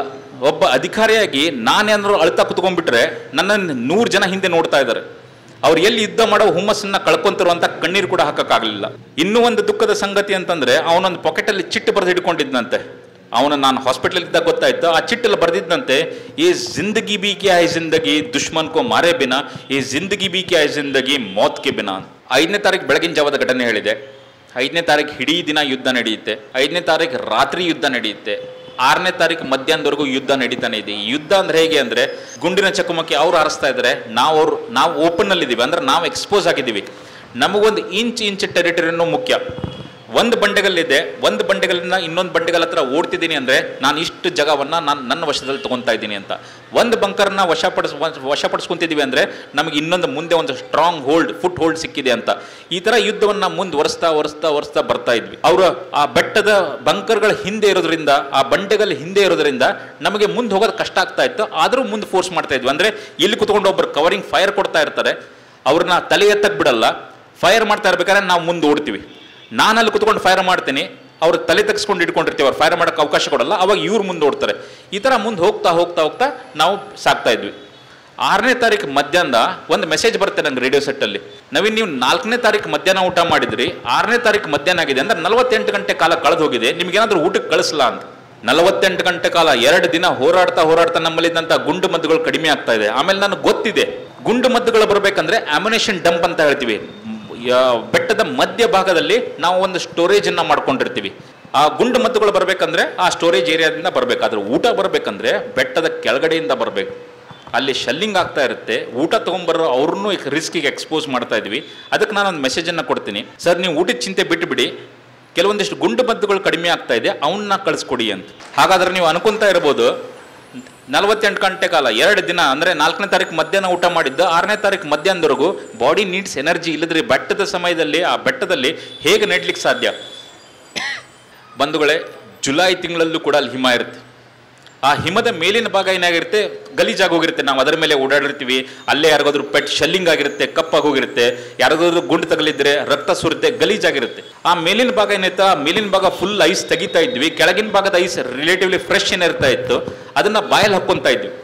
ಅಂದ್ರೆ ನಾವು ಏನೋ ಊಟ ಮಾಡಿದ್ವಿ ನಮ್ಮ ಹೊಟ್ಟೆಯಲ್ಲಿ ಏನೋ ಹೋಗಿದೆ ಅಂತ ಒಂದು ಫೀಲಿಂಗ್ ಇರಲಿ ಅಂತ. ಆರನೇ ತಾರೀಕು ಮಧ್ಯಾಹ್ನ ಈ ಥರ ಒಂದು ಮೆಸೇಜ್ ಕೊಟ್ಟಾಗ, ಅವಾಗ ನನ್ನ ಒಂದಿಷ್ಟು ಗುಂಡು ಮದ್ದುಗಳು ಬೇಕಂತ ಹೇಳಿದಾಗ ಅವಾಗ ಕ್ಯಾಪ್ಟನ್ ವಿಕ್ರಮ್ ಹತ್ರ ಅವ್ರಿಗೆ ಮೆಸೇಜ್ ಹೋಗುತ್ತೆ. ಅವರು ನನ್ನನ್ನು ರಿಸರ್ವ್ ಆಗಿ ಕುತ್ಕೊಂಡಿರ್ತಾರೆ. ಅವರು ಒಂದಿಷ್ಟು ಆರ್ಮ್ಸ್ ಆ್ಯಂಡ್ ಡ್ಯಾಮಿನೇಷನನ್ನು ತಗೊಂಡು ನಮಗೆ ಬಂದು ಜಾಯ್ನ್ ಆಗ್ತಾರೆ. ಆವಾಗ ಆರನೇ ತಾರೀಕು ಮಧ್ಯಾಹ್ನ. ಆರನೇ ತಾರೀಕು ಮಧ್ಯಾಹ್ನ ಕ್ಯಾಪ್ಟನ್ ವಿಕ್ರಮ್ ಹತ್ರ ಅವ್ರು ಬಂದು ಜಾಯ್ನ್ ಆಗಿದ್ದಾರೆ ಅಂತ ಗೊತ್ತಾದ ತಕ್ಷಣ ನಮ್ಮ ನಮ್ಮ ಟೀಮಲ್ಲಿ ಒಂದು ಹೊಸ ಹುಮ್ಮಸ್ ಬರುತ್ತೆ. ಅಲ್ಲಿಂದ ನಾವು ಯುದ್ಧವನ್ನು ಇನ್ನೂ ಚೆನ್ನಾಗಿ ಮುಂದುವರಿಸ್ತಾ ಹೋಗ್ತೀವಿ. ಗೊತ್ತಿರಲಿ ನಿಮಗೆ ಸಂಗತಿ ಹೇಳ್ತೀನಿ. ಯುದ್ಧದ ಸಮಯದಲ್ಲೂ ಹೇಗೆ ಮನ ಒಬ್ಬನ ಸೈನಿಕನ ಮನಸ್ಥಿತಿ ಹೇಗಿರುತ್ತೆ ಅಂದರೆ ಯುದ್ಧ ನಡೀತಾ ಇದೆ. ಆರನೇ ತಾರೀಕು ರಾತ್ರಿ ನಾವು ಕುತ್ಕೊಂಡು ಡಿಸ್ಕಸ್ ಮಾಡ್ತಾ ಇದ್ದೀವಿ. ಅಂದ್ರೆ ಹೇಗೆ ಅಂದ್ರೆ ಬೆಟ್ಟದ ತುದಿ ಮೇಲೆ ಹೇಗೆ ನಾವು ಪ್ಲಾನ್ ಮಾಡ್ತಾ ಇದ್ದೀವಿ ಅಂದ್ರೆ ನಾನು ಒಂದು ಕಡೆ ಕುತ್ಕೊಂಡು ಕವರಿಂಗ್ ಫೈರ್ ಕೊಡ್ತಾ ಇದ್ದೀನಿ. ಕ್ಯಾಪ್ಟನ್ ವಿಕ್ರಮ್ ಹತ್ರ ಅವ್ರು ಮುಂದೆ ಹೋಗ್ತಾರೆ. ಅವರಲ್ಲೇ ನೆಲೆ ನೀರಿ, ಅಲ್ಲಿಂದ ಅವ್ರು ಫೈರ್ ಮಾಡ್ತಾರೆ ಕವರಿಂಗ್ ಫೈರ್ ಮಾಡ್ತಾರೆ. ನಾನು ಅವ್ರನ್ನ ಓವರ್ಟೇಕ್ ಮಾಡ್ತಾ ಇದ್ದೀನಿ. ಈ ತರ ಕ್ರಿಸ್ ಕ್ರಾಸ್ ಮಾಡ್ತಾ ಮಾಡ್ತಾ ಮೇಲೆ ಹೋಗ್ತಾ ಇದ್ವಿ. ಒಂದ್ಸಲ ನಲ್ಲಿದ್ದಂಥ ಗುಂಡು ಮದ್ದುಗಳು ಕಡಿಮೆ ಆಗಿದೆ, ನನ್ನಲ್ಲಿ ಮ್ಯಾಗ್ಝಿನ್ ಚೇಂಜ್ ಮಾಡಬೇಕು ನಲ್ಲಿದ್ದಂಥ ಗುಂಡುಗಳು ಖಾಲಿಯಾಗಿದೆ A K forty seven use ಮಾಡ್ತಾ ಇದ್ದೆ ನಾನು. A K forty seven magazine ಅಂತ ಹೇಳ್ತೀವಿ. ಆ ಮ್ಯಾಗ್ಝಿನಿನ ಖಾಲಿ ಆಯಿತು, ಗುಂಡು ಖಾಲಿ ಆಯಿತು ಅಂತ ಕೆಳಗೆ ತೊಗೊಂಡು ನಾನು ಬಂದೆ. ಅಲ್ಲಿ ಮ್ಯಾಗ್ಝಿನ್ ಎರಡು ಕಲೆಕ್ಟ್ ಮಾಡ್ಕೊಂಡು ಒಂದು ವೆಪನಿಗೆ ಲೋಡ್ ಮಾಡಿದೆ. ಇನ್ನು ಎರಡನ್ನ ಎಕ್ಸ್ಟ್ರಾ ತೊಗೊಂಡು ನಾನು ಪೌಚಲ್ಲಿ ಹಾಕೊಂಡು ಇನ್ನೇನು ಹೋಗ್ತಾ ಇದ್ದೆ. ಹೋಗ್ಬೇಕಾದ್ರೆ ಕ್ಯಾಪ್ಟನ್ ವಿಕ್ರಮ್ ಬತ್ರ ಅವ್ರ ಪಕ್ಕದಲ್ಲಿ ಕುತ್ಕೊಂಡು, ನವೀನ್ ಆಜ ಜಾ ತೊಡಿದಿರ ಅಂದ್ರು ಅಲ್ಲಿ ಕುತ್ಕೊಂಡು ಯುದ್ಧ ನಡೀತಾ ಇದೆ. ರಾತ್ರಿ ಹೊತ್ತು ಸುಮಾರು ಹದಿನಾರು, ಹದಿನೇಳು ಸಾವಿರ ಅಡಿ ಎತ್ತರದ ಮೇಲೆ ಕುತ್ಕೊಂಡು ನಾವೇನು ಡಿಸ್ಕಸ್ ಮಾಡ್ತಿದ್ವಿ ಗೊತ್ತಾ? ರಿಟೈರ್ಮೆಂಟ್ ಆದಮೇಲೆ ನೀನೇನು ಮಾಡ್ತೀಯಾ? ನಾನೇನು ಮಾಡ್ತೀನಿ ಅಂತ ಡಿಸ್ಕಸ್ ಮಾಡ್ತಾ ಇದ್ದೆ. ನಾನು ಆ ಯೂನಿಟಲ್ಲಿ ಅಟ್ಯಾಚ್ಮೆಂಟ್ ಅಲ್ಲಿ ಇದ್ದೆ. ಆ ಇನ್ನೊಂದು ಆರು ತಿಂಗಳಿಗೆ ನನ್ನದು ಆ ಯೂನಿಟಲ್ಲಿ ಕೆಲಸ ಮುಗಿದೋಗುತ್ತೆ. ನಾನು ಬೇರೆ ಯೂನಿಟ್ಗೆ ಹೋಗ್ತೀನಲ್ಲ ಸರ್ ಅಂತ ಹೇಳಿದ್ರೆ ತೂ ಕಾ ಜಾಯಗ, ತೂ ತೋ ಮೇರೆ ಸಾಥಿ ಪಾಲಂಪುರದವ್ರು ಅವರು ಪಾಲಂಪುರದಲ್ಲಿ ನಾನು ಸ್ಟ್ರಾಬೆರಿ ಫಾರ್ಮ್ ಮಾಡ್ತೀನಿ, ಇನ್ನೇನು ಅಲ್ಲಿ ಬರುವಂತೆ ಅಂದರೆ ಗೋಡ, ಅಂದರೆ ಹಾರ್ಸ್ ಇಡೋಣಂತೆ ಇಬ್ಬರು ಹಾರ್ಸ್ ಮೇಲೆ ಓಡಾಡೋಣಂತೆ ಅಂತ ಆ ಒಂದು ಮಾತನ್ನು ಮಾತಾಡ್ತಾ ಇದ್ದೀವಿ ಅಲ್ಲಿಂದ ನಾನು ಅದು ಮಾತಾಡ್ತಾ ಒಂದು ಸ್ವಲ್ಪ ಮಾತಾಡ್ಕೊಂಡು ಕುತ್ಕೊಂಡ್ವಿ. ಅದಾದ ನಂತರ ನಾನು ಮತ್ತೆ ಮೇಲೆ ತುದಿ ಮೇಲೆ ಹೋದೆ. ತುದಿ ಅಂದರೆ ಏಳನೇ ತಾರೀಕು ಬೆಳಗಿನ ಜಾವ. ಏಳನೇ ತಾರೀಕು ಬೆಳಗಿನ ಜಾವದವರೆಗೂ ಇನ್ನು ಒಂದೇ ಒಂದು ಬಂಕರ್ ಉಳ್ಕೊಂಡಿದೆ. ಆ ಬಂಕರ್ನ ನಾವು ಧ್ವಂಸಪಡಿಸಿದ್ರೆ ನಾವು ಫೋರ್ ಏಟ್ ಸೆವೆನ್ ಫೈವ್ ಗೆದ್ದಾಗುತ್ತೆ ಆ ಕಡೆ ಒಂದು, ನಾನು ಕುತ್ಕೊಂಡಿದ್ದೀನಿ ಇಲ್ಲಿ, ಒಂದು ದೊಡ್ಡ ಬಂಡೆಗಲ್ ಇದೆ ಬಂಡೆಗಲ್ ಆಚೆ ಪಾಕಿಸ್ತಾನದ ಕೊನೆಯ ಪೋಸ್ಟ್ ಇದೆ. ಆ ಪೋಸ್ಟನ್ನ ವಶಪಡಿಸ್ಕೊಂಡ್ರೆ ನಾವು ಗೆದ್ದಾಗುತ್ತೆ ನನ್ನ ಕೈಲಿ ಎ ಕೆ ಫೋರ್ಟಿ ಸೆವೆನ್ ಇದೆ. ನನಗೆ ಯಾವಾಗ ಯಾವಾಗ ಅವಕಾಶ ಸಿಗುತ್ತೋ ಆ ಬಂಡೆಗಲ್ ಮೇಲೆ ಮೇಲೆ ಹತ್ತಿ ಇಲ್ಲ ಸೈಡಿಂದ ಫೈರ್ ಮಾಡ್ತಾ ಇದ್ದೀನಿ ಫೈರ್ ಮಾಡಿ ಕೆಳಗೆ ಕುತ್ಕೊಂತಾ ಇದ್ದೀನಿ. ಏಳನೇ ತಾರೀಕು ಬೆಳಗಿನ ಜಾವ ಅವ್ರು ಒಂದು ಹ್ಯಾಂಡ್ ಗ್ರೆನೇಡನ್ನು ಎಸಿತಾರೆ. ನಿಮಗೆಲ್ಲ ಹ್ಯಾಂಡ್ ಗ್ರೆನೇಡ್ ಮೂವಿದಲ್ಲಿ ನೋಡಿರ್ತೀನಿ ಅನ್ಕೊಂತೀನಿ. ಕೈ ಬಾಂಬು ಅಂತ ಹೇಳ್ತಾರೆ. ಪಿನ್ ತೆಗೆದು ಈ ಥರ ಎಸಿತಾರಲ್ಲ? ಅದಕ್ಕೆ ಹ್ಯಾಂಡ್ ಗ್ರೈಂಡ್ ಅಂತ ಹೇಳ್ತಾರೆ. ಆ ಹ್ಯಾಂಡ್ ಗ್ರೆನೇಡನ್ನ ಎಸಿತಾರೆ. ನಾನು ಹಿಂಗೆ ಕಾಲು ಚಾಚ್ಕೊಂಡು ಕುತ್ಕೊಂಡಿದ್ದೀನಿ ನನ್ನ ಕೈಲಿ ಕೆ ಫಾರ್ಟಿ ಸೆವೆನ್ ಇದೆ, ಆ ಹ್ಯಾಂಡ್ ಗ್ರೈಂಡ್ ಬಂದು ನನ್ನ ಕಾಲ ಹತ್ರ ಬೀಳುತ್ತೆ. ಒಂದು ಹ್ಯಾಂಡ್ ಗ್ರೈಂಡಿನ ಎಫೆಕ್ಟ್ ಹೇಗಿರುತ್ತೆ ಅಂತ ನಿಮ್ಗೆ ಹೇಳಲಿಕ್ಕೆ ಇಷ್ಟಪಡ್ತೀನಿ. ನೀವು ಆ ಪಿನ್ ತೆಗೆದು ಎಸೆದ್ರೆ, ಎಸೆದ ತಕ್ಷಣ ಬ್ಲಾಸ್ಟ್ ಆದರೆ ಎಸೆಯೋರಿಗೆ ಪೆಟ್ಟು ಬೀಳುತ್ತೆ. ಹಾಗಾಗಿ ಅದಕ್ಕೊಂದು ನಾಲ್ಕು ಸೆಕೆಂಡ್ ಟೈಮ್ ಲಾಗಿರುತ್ತೆ ಅಂದ್ರೆ ನೀವು ಪಿನ್ ತೆಗಿತೀರಾ, ಎಸಿತೀರಾ, ಆ ಗ್ರೆನೇಡಲ್ಲಿ ಹೋಗಿ ಬೀಳುತ್ತೆ. ಬಿದ್ದೊಂದು ಎರಡು ಮೂರು ಸೆಕೆಂಡಲ್ಲಿ ಅದು ಬ್ಲಾಸ್ಟ್ ಆಗುತ್ತೆ. ಅಂದ್ರೆ ಮ್ಯಾಕ್ಸಿಮಮ್ ಜನಕ್ಕೆ ಇಂಪ್ಯಾಕ್ಟ್ ಆಗಲಿ ಅಂತ. ಅದ್ರ ಕಿಲ್ಲಿಂಗ್ ರೇಡಿಯಸ್ ಅಂತ ಹೇಳ್ತೀವಿ. ಅಂದ್ರೆ ದುರದೃಷ್ಟ, ಇಲ್ಲೇನಾದರೂ ಗ್ರೆನೇಡ್ ಬಿದ್ದು, ಇಲ್ಲೇನಾದರೂ ಸಿಡಿದ್ರೆ, ಅಕ್ಕಪಕ್ಕ ಸುಮಾರು ಐದರಿಂದ ಹತ್ತು ಮೀಟರ್ ಏನೇನು ಇರುತ್ತೆ, ಎಲ್ಲ ಚಿದ್ರ ಚಿದ್ರೆ ಆಗುತ್ತೆ. ಅಂತ ಹ್ಯಾಂಡ್ ಗ್ರೆನೇಡ್ ಬಂದು ನನ್ನ ಕಾಲ ಹತ್ರ ಬೀಳುತ್ತೆ. ಈಗ ನನಗೇನು ಅವಕಾಶ ಇದೆ? ಎಲ್ ಶೇಪ್ ಬಂಕರ್ ಇದೆ. ನಾನು ಒಂದು ಕಡೆ ಕುಂತಿದ್ದೀನಿ. ನನ್ನಿಬ್ಬರು ಜವಾನ್ಸ್ ಆ ಕಡೆ ಕುಂತಿದ್ದಾರೆ. ಅದನ್ನ ಕಾಲಿಂದ ಆ ಹ್ಯಾಂಡ್ ಗ್ರೆನೇಡ್ ಅವ್ರ ಕಡೆಗೆ ಹೇಗೆ ಓದಿಲಿ ಮನಸ್ಸು ಒಪ್ಪಲ್ಲ. ನಾನು ಎದ್ದು ಓಡಕ್ಕೂ ಆಗಲ್ಲ, ಎದ್ದು ನಿಂತ್ಕೊಂಡು ಓಡಕ್ಕೆ ಸ್ಟಾರ್ಟ್ ಮಾಡಿದರೆ ಅವರು ಗನೆಡ್ ಎಸ್ತಿದ್ದಾರೆ ಮೂವ್ಮೆಂಟ್ ಆಗುತ್ತೆ, ಹರ್ಕತ್ತಾಗುತ್ತೆ ಅಂತ ಗೊತ್ತಿದೆ, ಕಾಯ್ತಾ ಇರ್ತಾರೆ. ನಾನು ಎದ್ದು ಓಡಕ್ಕೆ ಹೋದ್ರೆ ಶೂಟ್ ಮಾಡ್ತಾರೆ. ಸೊ ಇದ್ದಿದ್ದು ಒಂದೇ ಒಂದು ಅವಕಾಶ, ಆ ಗ್ರೆನೇಡನ್ನ ತಗೊಂಡೆ. ನನಗೆ ಗೊತ್ತಿತ್ತು ಅದಕ್ಕೆ ಫೋರ್ ಸೆಕೆಂಡ್ಸ್ ಟೈಮ್ ಆಗಿರುತ್ತೆ ನಾಲ್ಕು, ನಾನು ಏನಾದರೂ ಮಾಡಬೇಕಂದ್ರೂ ಆ ಮೂರು, ನಾಲ್ಕು ಸೆಕೆಂಡಲ್ಲಿ ಮಾಡಬೇಕು ಅಂತ. ತಗೊಂಡೆ, ವಾಪಸ್ ಎಸ್ದೆ. ಯು ವಿಲ್ ಅಪ್ರಿಷಿಯೇಟ್ ನೀವೇನಾದರೂ ಒಂದು ಚಂಡನ್ನ, ಒಂದು ಕಲ್ಲನ್ನು ಎಸಿಬೇಕು ಅಂದರೆ ನಿಮ್ಗೆ ಪ್ರಾಪರ್ ಸ್ವಿಂಗ್ ಬೇಕು. ಕೈ ಹಿಂಗೆ ಫುಲ್ ಸ್ವಿಂಗ್ ಸಿಕ್ಕರೆ ಮಾತ್ರ ದೂರ ಹೋಗೋದು ಅದು ನಾನು ಒಂದು ಚಿಕ್ಕ ಕನ್ಸ್ಟೆಂಟ್ ಸ್ಪೇಸಲ್ಲಿ ಕುತ್ಕೊಂಡಿದ್ದೆ. ಆ ಬಂಕರ್ ಇಷ್ಟೇ ಇಷ್ಟಿತ್ತು, ಸಂಗಡಿ ಇಷ್ಟೇ ಇಷ್ಟಿತ್ತು. ಅದು ನಾನು ರಾಂಗ್ ಸೈಡಿಗೆ ಎಸಿಬೇಕು. ಪಾಕ್ ಎದುರುಗಡೆನೆ ಬಂಡೆಗಲ್ಲು ಬಂಡೆಗಲ್ ಸ್ವಲ್ಪ ದೊಡ್ಡದಿದೆ ಎತ್ಕೊಂಡೆ, ವಾಪಸ್ ಎಸ್ದೆ. ಬಟ್ ದುರಾದೃಷ್ಟ ಅಂದರೆ ಆ ಬಂಡೆಗಲ್ಲಿಗೆ ಬಡಿತು ಉರುಳಿ ಬಂದು ಮತ್ತೆ ನನ್ನ ಕಾಲ ಥರ ಆ ಒಂದು ನಾಲ್ಕು ಸೆಕೆಂಡಲ್ಲಿ ಬಹುಶಃ ಒಂದು ಎರಡು, ಮೂರು ಸೆಕೆಂಡನ್ನು ಕಳ್ಕೊಂಡ್ಬಿಟ್ಟಿದ್ದೀನಿ ಇನ್ನು ಒಂದು ಸೆಕೆಂಡಲ್ಲಿ ಗ್ರ, ಗ್ರೆನೇಡ್ ಬ್ಲಾಸ್ಟ್ ಆಗುತ್ತೆ. ಬಂಧುಗಳೇ ಸಾವನ್ನು ತುಂಬ ಹತ್ತಿರದಿಂದ ನೋಡಿದ್ದೀನಿ ಆವಾಗ ಆ ಒಂದು ಇದನ್ನು ನಾನು ಅದನ್ನು ಕಂಡು ಬಂದಿದ್ದನ್ನು ಹೇಳ್ತಾ ಇದ್ದೀನಿ ನಿಮ್ಮ ಮುಂದೆ. ಆ ಒಂದು ಫ್ರ್ಯಾಕ್ಷನ್ ಆಫ್ ಅ ಸೆಕೆಂಡಲ್ಲಿ ನನಗೆಲ್ಲ it was everything started flashing in front of my eyes ಎಲ್ಲದೂ ನನ್ನ ಬಾಲ್ಯ ಆಯಿತು, ನಮ್ಮ ತಂದೆ ತಾಯಿ ಮುಖ ಎಲ್ಲ ನನ್ನ ಮುಂದೆ ಬಂದು ಫ್ಲಾಶ್ ಆದಂಗೆ ಆಯ್ತು. ನಾನು ಅನ್ಕೊಂತಾ ಇದ್ದೀನಿ ಆ ಒಂದು ಫ್ರಾಕ್ಷನ್ ಆಫ್ ಅ ಸೆಕೆಂಡಲ್ಲಿ ದೇವರೇ, ನಾನು ಹೀಗೇನೆ ಕುತ್ಕೊಂಡ್ರೆ, ಆ ಗ್ರೆನೇಡಿನ ಸಿಡಿದ್ರೆ, ನಾನು ಸತ್ಯ ಅಂತ ಮನೆಗೆ ಗೊತ್ತಾದ ಮೇಲೆ ನಮ್ಮ ತಂದೆ ತಾಯಿಗೆ ಆಬ್ವಿಯಸ್ಲಿ ದುಃಖ ಆಗೇ ಆಗುತ್ತೆ. ಬಟ್ ಹೀಗೆ ಕುತ್ಕೊಂಡಿದ್ರೆ ಗ್ರೆನೇಡ್ ಸಿಡಿದ್ರೆ, ನನ್ನ ಮೇಲಿನ ಭಾಗ ಎಲ್ಲ ಚಿದ್ರೆ ಆದರೆ, ಮನೆಗೆ ವಾಪಸ್ ನವೀನ್ ಅಂತ ಏನು ಕಳಿಸ್ತಾರೆ? ಎಲ್ಲೋ ಬಿದ್ದಂಥ ಒಂದಿಷ್ಟು ಎಲುಬು ತುಂಡುಗಳ, ಮಾಂಸ ತುಂಡುಗಳು ಒಂದು ಗೋಣಿ ಚೀಲದಲ್ಲಿ ಹಾಕಿ ಮನೆಗೆ ಕಳಿಸಿದ್ರೆ, ನಮ್ಮ ತಂದೆ ತಾಯಿ ನನ್ನನ್ನು ಕ್ಷಮಿಸ್ತಾರ. ಕೊನೆ ಪಕ್ಷ ನನ್ನ ಮುಖ ನೋಡೋವರಿಗೆ ಅವಕಾಶ ಮಾಡಿಕೊಡಬಾರ್ದ ಅಂತ ದೇವರಲ್ಲಿ ಒಂದೇ ಒಂದು ಪ್ರಾರ್ಥನೆ ಇಟ್ಕೊಂಡೆ. ದೇವರೇ, ನಾನು ಸಾಯ್ತೀನಿ ಗೊತ್ತು. ಬಟ್ ನನ್ನ ತಂದೆ ತಾಯಿಗೆ ಕೊನೆ ಪಕ್ಷ ಮಕ ನೋಡೋ ಅವಕಾಶ ಮಾಡಿಕೊಡುವಂಥ ಬಲ್ಕ್ ಆ ಬಂಡೆಗಲ್ಲು ಮತ್ತು ಆ ಬಂಕರ್ದೇನು ಜಗ ಇತ್ತಲ್ಲ, ಅದರ ಮಧ್ಯೆ ಒಂದು ಸಣ್ಣ ಗ್ಯಾಪ್ ಇತ್ತು, ಜಿಗದೆ. ಜಿಗಿದ ತಕ್ಷಣ ಈ ಮೇಲಿನ ಭಾಗ ಏನಿತ್ತು, ಅದ್ರ ಹಿಂಭಾಗದಲ್ಲಿ, ಆ ಬಂಡೆಗಲ್ ಹಿಂಭಾಗದಲ್ಲಿ ಹೋತು. ಆ ಜಾಗ ಇರಲಿಲ್ಲ, ಕಾಲು ಹೊರಗೆ ಉಳ್ಕೊಂತು ಗ್ರನೇಡ್ ಟುಕ್ ಆಫ್ ನೀವು ಏನಾದರೂ ಗ್ರನೇಡ್ ಬ್ಲಾಸ್ಟ್ ಆದ ನಂತರ ಒಂದು ಹದಿನೈದು ಸೆಕೆಂಡ್ ನನಗೆ ಏನಾಗ್ತಿದೆ ಬದುಕಿದ್ದೀನೋ ಸತ್ತಿದ್ದೀನೋ ಗೊತ್ತಿಲ್ಲ. ನೀವೇನಾದರೂ ಒಂದು ಬಿಸಿದ ಸುಟ್ಟ, ಬಿಸಿ ಪಾತ್ರೆ ಮುಟ್ಟಿದ್ರೆ ಇಮಿಡಿಯೇಟ್ಲಿ ಆ ಒಂದು ಪೇನ್ ಏನಿರುತ್ತೆ ನಿಮ್ಮ ಬ್ರೈನಿಗೆ ಹೋಗುತ್ತೆ, ನೀವು ಕೈನ ವಾಪಸ್ ತಗೊಂತೀರ ಬಟ್ ಗ್ರನೇಡ್ ಬೇ ಬ್ಲಾಸ್ಟ್ ಆದಾಗ ಶಾಕ್ ಟ್ರೀಟ್ಮೆಂಟ್ ಅಂತ ಶಾಕ್ ಅಂತ ಹೇಳ್ತೀವಿ. ಆ ಶಾಕಲ್ಲಿ ಒಂದು ಹದಿನೈದು ಸೆಕೆಂಡ್ ಬದುಕಿದಿನೋ, ಸತ್ತಿದಿನೋ ಏನು ಕೂಡ ಗೊತ್ತಾಗ್ತಾ ಇಲ್ಲ. ಆ ಹದಿನೈದು ಸೆಕೆಂಡ್ ಆದ ನಂತರ ಆ ಸ್ಮೆಲ್ ಆಫ್ ಕಾರ್ಡ್ ನಾನು ಇದ್ದಂಥ ಬಂಕರ್ ಫುಲ್ ಬಿದ್ದೋಗ್ಬಿಟ್ಟಿದೆ. ನಾ ಎಲ್ಲ ಡಸ್ಟ್ ಆಗಿದೆ ಸ್ಮೆಲ್ ಆಫ್ ಕಾರ್ಡೈಟ್ ಅಂತ ಹೇಳ್ತೀವಿ ಸ್ಮೆಲ್ ಆಫ್ ಬರ್ಂಟ್ ಫ್ಲೆಶ್ ಅದೆಲ್ಲ ಆಗಿದೆ. ಬಲಗಡೆ ಏನು ಬಂಡೆಗಳಿತ್ತು, ಅದರ ಮೇಲೆ ರಕ್ತದ ಎಲ್ಲ ಚೀಟಿಗಳು ಸಿಡಿದಿದ್ದಾವೆ. ನನಗಿನ್ನೂ ಬದುಕಿದಿನೋ, ಸತ್ತಿದಿನೋ ಗೊತ್ತಾಗ್ತಾ ಇಲ್ಲ ಬಟ್ ಆ ಹಿಂಭಾಗದಿಂದ ನನಗೇನೋ ಒಂದು ಸೌಂಡ್ ಬರ್ತಾ ಇದೆ. ಸೌಂಡ್ ಏನಂದರೆ ಒಂದು ಕೌಂಟರ್ ಅಟ್ಯಾಕನ್ನು ಲಾಂಚ್ ಮಾಡ್ತಾ ಇದ್ದಾರೆ. ಪಾಕಿಸ್ತಾನದವ್ರು ಓಡ್ ಬರ್ತಾ ಇದ್ದಾರೆ ನಮ್ಮ ಹತ್ರ. ಕೌಂಟರ್ ಅಟ್ಯಾಕ್ನ ಮಾಡ್ತಾರೆ. ಅಂದರೆ ಈ ಒಂದು ಬಂಕರ್ನ ನಾವು ವಶಪಡಿಸ್ಕೋಬೇಕಂತ ಅವ್ರು ಓಡ್ ಬರ್ತಾ ಇದ್ದಾರೆ. ಕಣ್ಣು ಬಿಟ್ಟು ನಾನು ನೋಡ್ಬೇಕಾದ್ರೆ ಫಸ್ಟ್ ನಾನು ಏನು ನೋಡ್ತೀನಿ ಅಂದ್ರೆ ನಮ್ಮ ಯೂನಿಟಿನ ವ್ಯಕ್ತಿಯೊಬ್ರು ನನ್ನ ಕಡೆ ಆ ಕಡೆಯಿಂದ ಎಡಭಾಗದಿಂದ ಓಡಿ ಬರ್ತಾ ಇದ್ರೆ ಪಾಕಿಸ್ತಾನದವ್ರ ಕಡೆ ಫೈರ್ ಮಾಡ್ತಾ ಇದ್ದಾರೆ ಫೈರ್ ಮಾಡ್ತಾ ಮಾಡ್ತಾ ನಾನು ಬಂಕರ್ ಹತ್ರ ಬಂದು ನಿಂತ್ಕೊಂಡು ಮೊದಲನೇ ಮಾತು ಹೇಳ್ತಾರೆ ನಬೀನ್ ತು ಡರ್ನಾ ನೈ ಮೈ ಆಗ್ಯಾ ಆಹು ಅಂತ. ಅದೇ ಕ್ಯಾಪ್ಟನ್ ವಿಕ್ರಮ್ ಬತ್ರ ಅವ್ರು ಎದುರು ನಿಂತ್ಕೊಂಡು ಈ ಮಾತನ್ನ ಹೇಳ್ತಾರೆ. ಅವಾಗ ನಾನು ಅನ್ಕೊಂತೀನಿ, ನವೀನ್, ಇಲ್ಲಿವರೆಗೂ ನೀನು ಸತ್ತಿಲ್ಲ ಅಂದ್ರೆ ಇನ್ನು ಮೇಲೂ ಸಾಯಲ್ಲ ಅಂತಂದೆ. ಎಡಗಡೆ ಒಂದು ಎ ಕೆ ಫಾರ್ಟಿ ಬಿದ್ದಿತ್ತು ನಂದು. ಆ ಎಡಗಡೆ ಎ ಕೆ ಫಾರ್ಟಿ ಸೆವೆನ್ ತೊಗೊಂಡು ಫೈರ್ ಮಾಡಕ್ಕೆ ಸ್ಟಾರ್ಟ್ ಮಾಡಿದೆ. ಕ್ಯಾಪ್ಟನ್ ವಿಕ್ರಮ್ ಭದ್ರ ಅವರು ಫೈರ್ ಮಾಡ್ತಾ ಇದ್ರು. ನನ್ನ ಯೂನಿಟ್ನ thirteen battalion Jammu and Kashmir rifles Charlie ಕಂಪನಿದವ್ರಿಗೂ ಗೊತ್ತಾಗಿತ್ತು, ನವೀನ್ ಸಭೆಗೆ ಪೆಟ್ಟು ಬಿದ್ದಿದೆ ಅಂತ. ಅವರು ಫೈರ್ ಮಾಡಕ್ಕೆ ಸ್ಟಾರ್ಟ್ ಮಾಡಿದ್ರು. ಹೇಗೋ ಮಾಡಿ ಕೌಂಟರ್ ಅಟ್ಯಾಕ್ ಅನ್ನ ಸ್ಟಾಲ್ ಮಾಡ್ತೀವಿ. ಎರಡು ಕಾಲಿಗೆ ಪೆಟ್ಟು ಬಿದ್ದಿದೆ. ಎದ್ದಳಕ್ಕಾಗಲ್ಲ, ನಿಂದ್ರಕ್ಕಾಗಲ್ಲ. ಕ್ಯಾಪ್ಟನ್ ವಿಕ್ರಮ್ ಭದ್ರ ನಾನು ಹಿಡಿದು ಎಳೆದು ಸುಮಾರು ಒಂದು ಒಂದು ಹದಿನೈದು, ಇಪ್ಪತ್ತು ಮೀಟರ್ ಕೆಳಗಡೆ ಎಳ್ಕೊಂಡು ಹೋಗ್ತಾರೆ. ಎಳ್ಕೊಂಡು ಹೋಗಿ ನವೀನ್, ನೀನು ಟ್ರೀಟ್ಮೆಂಟನ್ನು ನೀನು ಕೆಳಗಡೆ ಹೋಗ್ತಗೋ. ನಾನು ಬೆಟ್ಟದ ಮೇಲೆ ಹೋಗಿ ಅಟ್ಯಾಕನ್ನು ಲಾಂಚ್ ಮಾಡ್ತೀನಿ ಅಂತ ಅವ್ರು, ಅವ್ರ ಮೇಲ್ಗಡೆ ಹೋಗ್ತಾರೆ. ನಾನು ಕೆಳಗಡೆ ಕ್ರಾಲ್ ಮಾಡೋಕ್ಕೆ ಸ್ಟಾರ್ಟ್ ಮಾಡ್ತೀನಿ. ನೀವು ಎಷ್ಟು ಶೇರ್ಷಾ ಅಂತ ಮೂವಿ ಬಂದಿತ್ತು. ಕ್ಯಾಪ್ಟನ್ ವಿಕ್ರಮ್ ಪತ್ರ ಬಯೋಪಿಕ್ ನೋಡಿದ್ದೀರಾ? ನೋಡಿದರೆ ನೀವು ಇದನ್ನು ಅಬ್ಸರ್ವ್ ಮಾಡಿರ್ತೀರ? ನನಗೆ ಗ್ರೆನೇಡ್ಗಲ್ಲಿ ಪ್ರೆಟ್ ಬೀಳುತ್ತೆ, ನನ್ನನ್ನು ಅವ್ರು ರೆಸ್ಕ್ಯೂ ಮಾಡ್ತಾರೆ. ರೆಸ್ಕ್ಯೂ ಮಾಡಿ ನನ್ನನ್ನು ಕೆಳಗೆ ಕಳಿಸ್ತಕ್ಕೆ ಹೋಗ್ತಿದ್ದಾರೆ ನಾನು ಸರ್ ಮುಜೆ ಮುಜೆ ಫೈಟ್ ಕರ್ನಾ ಸರ್ ಮುಜೆ ನೀಚೆ ಮತ್ ಬೀಜು, ಮುಜೆ ನೀಚೆ ಮತ್ ಬೀಜು ಅಂತ ಹೇಳ್ತಿದ್ದೀನಿ. ನನ್ನ ಕಡೆಗಳಿಗೆ ಕಳಿಸ್ಬೇಡ್ರಿ ಅಂತ ಹೇಳ್ತಾ ಇದ್ದೀನಿ. ಯಾಕೆ ಅಂದರೆ ನನ್ನ ಜವಾನ್ಸ್ಗೆ, ನನ್ನ ನನ್ನ ಜೊತೆ ಇದ್ದಂಥ ನನ್ನ ಕಂಪ್ನಿಗೆ ನಾನು ಹೇಳಿದ್ದೆ, ನಾನು ಅಲ್ಲಿಂದ ವಾಪಸ್ ಬರಲ್ಲ. ಭಾರತೀಯ ಸೇನೆ ಒಂದು ಟಾಸ್ಕನ್ನು ಕೊಟ್ಟಿದೆ. ಫೋರ್ ಏಟ್ ಸೆವೆನ್ ಫೈವ್ ಮೇಲೆ ಗೆದ್ದು ಅದ್ರ ಮೇಲೆ ಭಾರತ ಬಾವುಟವನ್ನು ಹಾರಿಸ್ಬೇಕಂತ ಹೇಳಿದೆ. ಅದನ್ನು ಹಾರಿಸೋವರೆಗೂ ನಾನು ಕೆಳಗೆ ಹೋಗಲ್ಲ. ಆ ಮೂವಿದಲ್ಲಿ ಈ ಸೀನನ್ನು ಕ್ಯಾಪ್ಚರ್ ಮಾಡಿದ್ದಾರೆ, ಇದನ್ನು ತೋರಿಸಿದ್ದಾರೆ ನನಗೆ ಹೇಗೆ ಪೆಟ್ಟು ಬೀಳುತ್ತೆ ಅಂತ. ಆದರೆ ಕ್ಯಾಪ್ಟನ್ ವಿಕ್ರಮ್ ಬತ್ರ ನನಗಿಂತ ಸೀನಿಯರ್ ಆಗಿರೋದ್ರಿಂದ ಇಲ್ಲ, ನೀನು ಕೆಳಗೆ ಹೋಗಿ ಟ್ರೀಟ್ಮೆಂಟ್ ತೊಗೊಳ್ಳಬೇಕು ನೀನು ಇಲ್ಲಿ ಕುತ್ಕೊಂಡು ರಕ್ತ ಸೂರಿ ಸಾಯೋದಕ್ಕಿಂತ, ಅದನ್ನು ನೋಡಿ ಮೊರಾಲ್ ಡೌನ್ ಆಗೋದಕ್ಕಿಂತ ನೀನು ಕೆಳಗೆ ಹೋಗಿ ಟ್ರೀಟ್ಮೆಂಟ್ ತಗೋ ಅಂತ ಹೇಳ್ತಾರೆ. ನಾನು ಕೆಳಗಡೆ ಹೋಗೋಕೆ ಶುರು ಮಾಡ್ತೀನಿ. ಸುಮಾರು ನೂರ ಐವತ್ತು ಮೀಟರ್ ಕ್ರಾಲ್ ಮಾಡಿ ತಗೊಳ್ತಾ ತಗೊಳ್ತಾ ನೂರ ಐವತ್ತು ಮೀಟರ್ ಇಮ್ಯಾಜಿನ್ ಮಾಡಿ ಹಂಡ್ರೆಡ್ ಮೀಟರ್ಸ್ ಓಡ್ತೀರಾ ಅಂದರೆ ಹಂಡ್ರೆಡ್ ಮೀಟರ್ಸ್ ಕಂಪ್ಲೀಟ್ ಮಾಡಿದ್ಮೇಲೆ ಎಷ್ಟು ಸುಸ್ತಾಗ್ತೀರಾ? ನೂರ ಐವತ್ತು ಮೀಟರ್ ಕ್ರಾಲ್ ಮಾಡ್ತಾ ಮಾಡ್ತಾ ಹೋದೆ, ಒಂದು ಬಂಡೆಗಲ್ಲಿ ಹಿಂದೆ ಕುತ್ಕೊಂತೀನಿ. ಬಂಡೆಗಲ್ಲಿ ಹಿಂದೆ ಕುತ್ಕೊಂಡು ನನ್ನ ಕಾಲು ಏನಾಗಿದೆ ನೋಡ್ಕೊಳ್ಳೋಣ ಅಂದರೆ ಇಲ್ಲಿ ಮೇಲೆಲ್ಲ ರಕ್ತ ಸಿಡಿದು ಬಿಟ್ಟಿದೆ, ಅಲ್ಲಿ ಎಲ್ಲೆಲ್ಲೋ ಸುಟ್ಟಿದ ಗಾಯ ಸ್ಪ್ರಿಂಟರ್ಸ್ ಎಲ್ಲೆಲ್ಲಿ ಬೇಕಲ್ಲಿ ಹೋಗಿದೆ ಏನಾಗಿದೆ ಅಂತ ನೋಡ್ಕೊಳ್ಳೋಣ ಅಂದರೆ, ಎಡಗಡೆ ಶೂ ಶೂ, ದಪ್ಪ ಶೂ ಹಾಕ್ಕೊಂಡಿರ್ತೀವಿ ಆ ಫುಲ್ ಫುಲ್ ಶೂ ಸುಟ್ಟು ಹೋಗ್ಬಿಟ್ಟಿದೆ ಚಿದ್ರಾಗಿದೆ ಎಡಗಡೆ ಶೂಲ್ ಓಪನ್ ಮಾಡಿದೆ ಸ್ಪ್ರಿಂಟರ್ ಎಲ್ಲಿ ಬೇಕಲ್ಲಿ ಹೋಗಿತ್ತು. ಎಡಗಡೆದ್ದು ಒಂದು ಗ್ರೇಟರ್ ಟು ಅಂತ ಹೇಳ್ತೀವಲ್ಲ, ಅದು ಅದು ಇಟ್ ವಾಸ್ ಬ್ಲೋನ್ ಆಫ್ ಬಲಗಡೆ ಏನೋ ಒಂದಿಷ್ಟು ಶೂ ಉಳ್ಕೊಂಡಿತ್ತು. ಆ ಶೂ ಇದ್ರಲ್ಲಿ ಬಿಚ್ಕೊಂಡು ನೋಡೋಣ ಅಂತಂದು ಶೂ ಬಿಚ್ತೀನಿ ಹಿಂಗೆ ಅದ್ರಲ್ಲಿ ಇಷ್ಟು ರಕ್ತ ತುಂಬಿಕೊಂಡಿತ್ತು ಅಂದ್ರೆ ಈ ಶೂ ಬಿಚ್ಚಿದ ತಕ್ಷಣ ಅಲ್ಲಿದ್ದ ರಕ್ತ ಕೆಳಗೆ ಬಿದ್ದು ಕೆಳಗಡೆ ಬಿಳಿ ಐಸಿರುತ್ತಲ್ಲ ಅದು ಫುಲ್ ಕೆಂಪಾಗ್ಬಿಟ್ಟಿತ್ತು. ಅಷ್ಟು ರಕ್ತ ಸುರ್ತಾ ಇತ್ತು. ನನ್ನ ಕಾಲ್ ಫುಲ್ ಜೋತಾಡ್ತಾ ಇದೆ. ಯಾರಾದ್ರೂ ಹಿಡಿದು ಸ್ವಲ್ಪ ಹಿಂಗೆ ಎಳೆದ್ರೆ ಕಿತ್ಕೊಂಡ್ಬರ್ತಿತ್ತು ಏನೋ ಆ ಸ್ಟೇಟ್ ಅಲ್ಲಿ ಇದೀನಿ. ಟಾರ್ನಿಕ್ ವೈಟ್ ಅಂತ ಹೇಳ್ತಾರೆ. ನಮ್ಗೆ ಅದನ್ನ ಫಸ್ಟ್ ಫೀಲ್ಡ್ ಅಂತ ಕೊಟ್ಟಿರ್ತಾರೆ. ಅದು ರಕ್ತ ನಿಂದಿರ್ಲಿ ಅಂತ ಆ ಟಾನಿಕ್ ವೈಟ್ ನಾನೇ ಕಾಲಿಗೆ ಕಟ್ಕೊಂತಾ ಇದ್ದೀನಿ. ಅಂದ್ರೆ ಜೋತಾಡದಂಗೆ ಇರಲಿ, ಅದು ಕಾಲ್ ಜೊತೆಗೆ ಇರಲಿ ಅಂತ ಆ ಟೆನಿಕ್ ವೈಟ್ ಕಟ್ಕೊಂತಾ ಇದ್ದೀನಿ. ಅಷ್ಟೊಳಗೆ ನಾನು ಜವಾನ್ ಒಬ್ಬನ ಬಂದ.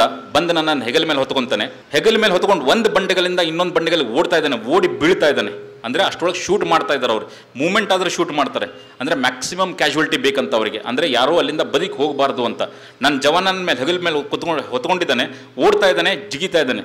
ಇಮ್ಯಾಜಿನ್ ಮಾಡಿ ಎಷ್ಟು ಪೇನ್ ಆಗಿರ್ಬೋದು ಅಂತ. ಆ ಒಂದು ಪೇನಲ್ಲೂ ಕೂಡ ಪಾಕಿಸ್ತಾನದವ್ರು ಶೂಟ್ ಮಾಡ್ತಾ ಇದ್ದಾರೆ ಆ ಐಸಲ್ಲಿ ಬುಲೆಟ್ ಸಿಡಿಯೋದು ಕಾಣ್ತಾ ಇದೆ.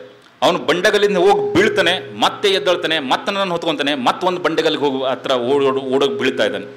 ಅಂದ್ರೆ ಆ ಫೈರಿಂಗ್ ಝೋನಿಂದ ಹೊರಗೆ ಕರ್ಕೊಂಬರ್ಬೇಕಂತ ಅವಾಗ ಆ ಮನಸ್ಥಿತಿ ಹೇಗಿರುತ್ತೆ ಅಂದರೆ ನಿಮಗೆ ಗೊತ್ತಾಗಲ್ಲ, ಏನು ಸಾಧ್ಯ, ಏನು ಅಸಾಧ್ಯ ಅಂತ ಗೊತ್ತಾಗಲ್ಲ ನಿಮ್ಗೆ. ಅವ್ನು ಹಿಂಗೆ ಹೊತ್ಕೊಂಡು ಓಡ್ತಾ ಇದ್ದಾನೆ, ಬೀಳ್ತಾ ಇದ್ದಾನೆ, ನಾನು ಹಿಂತಿರುಗಿ ನೋಡ್ತಾ ಇದ್ದೀನಿ ನನ್ನ ಕಾಲಿಲ್ಲಾದರೂ ಕಳ್ಸ್ಕೊಂಡು ಬಿದ್ದು ಬಿಟ್ಟಿದ್ದೇನೆ, ಅದನ್ನು ತೊಗೊಂಡು ಹೋಗೋಣ, ಕೆಳಗಡೆ ಕೊಟ್ಟು ಡಾಕ್ಟ್ರಿಗೆ ಹೊಲಿಯಪ್ಪ ಅಂತ ಹೇಳೋಣ.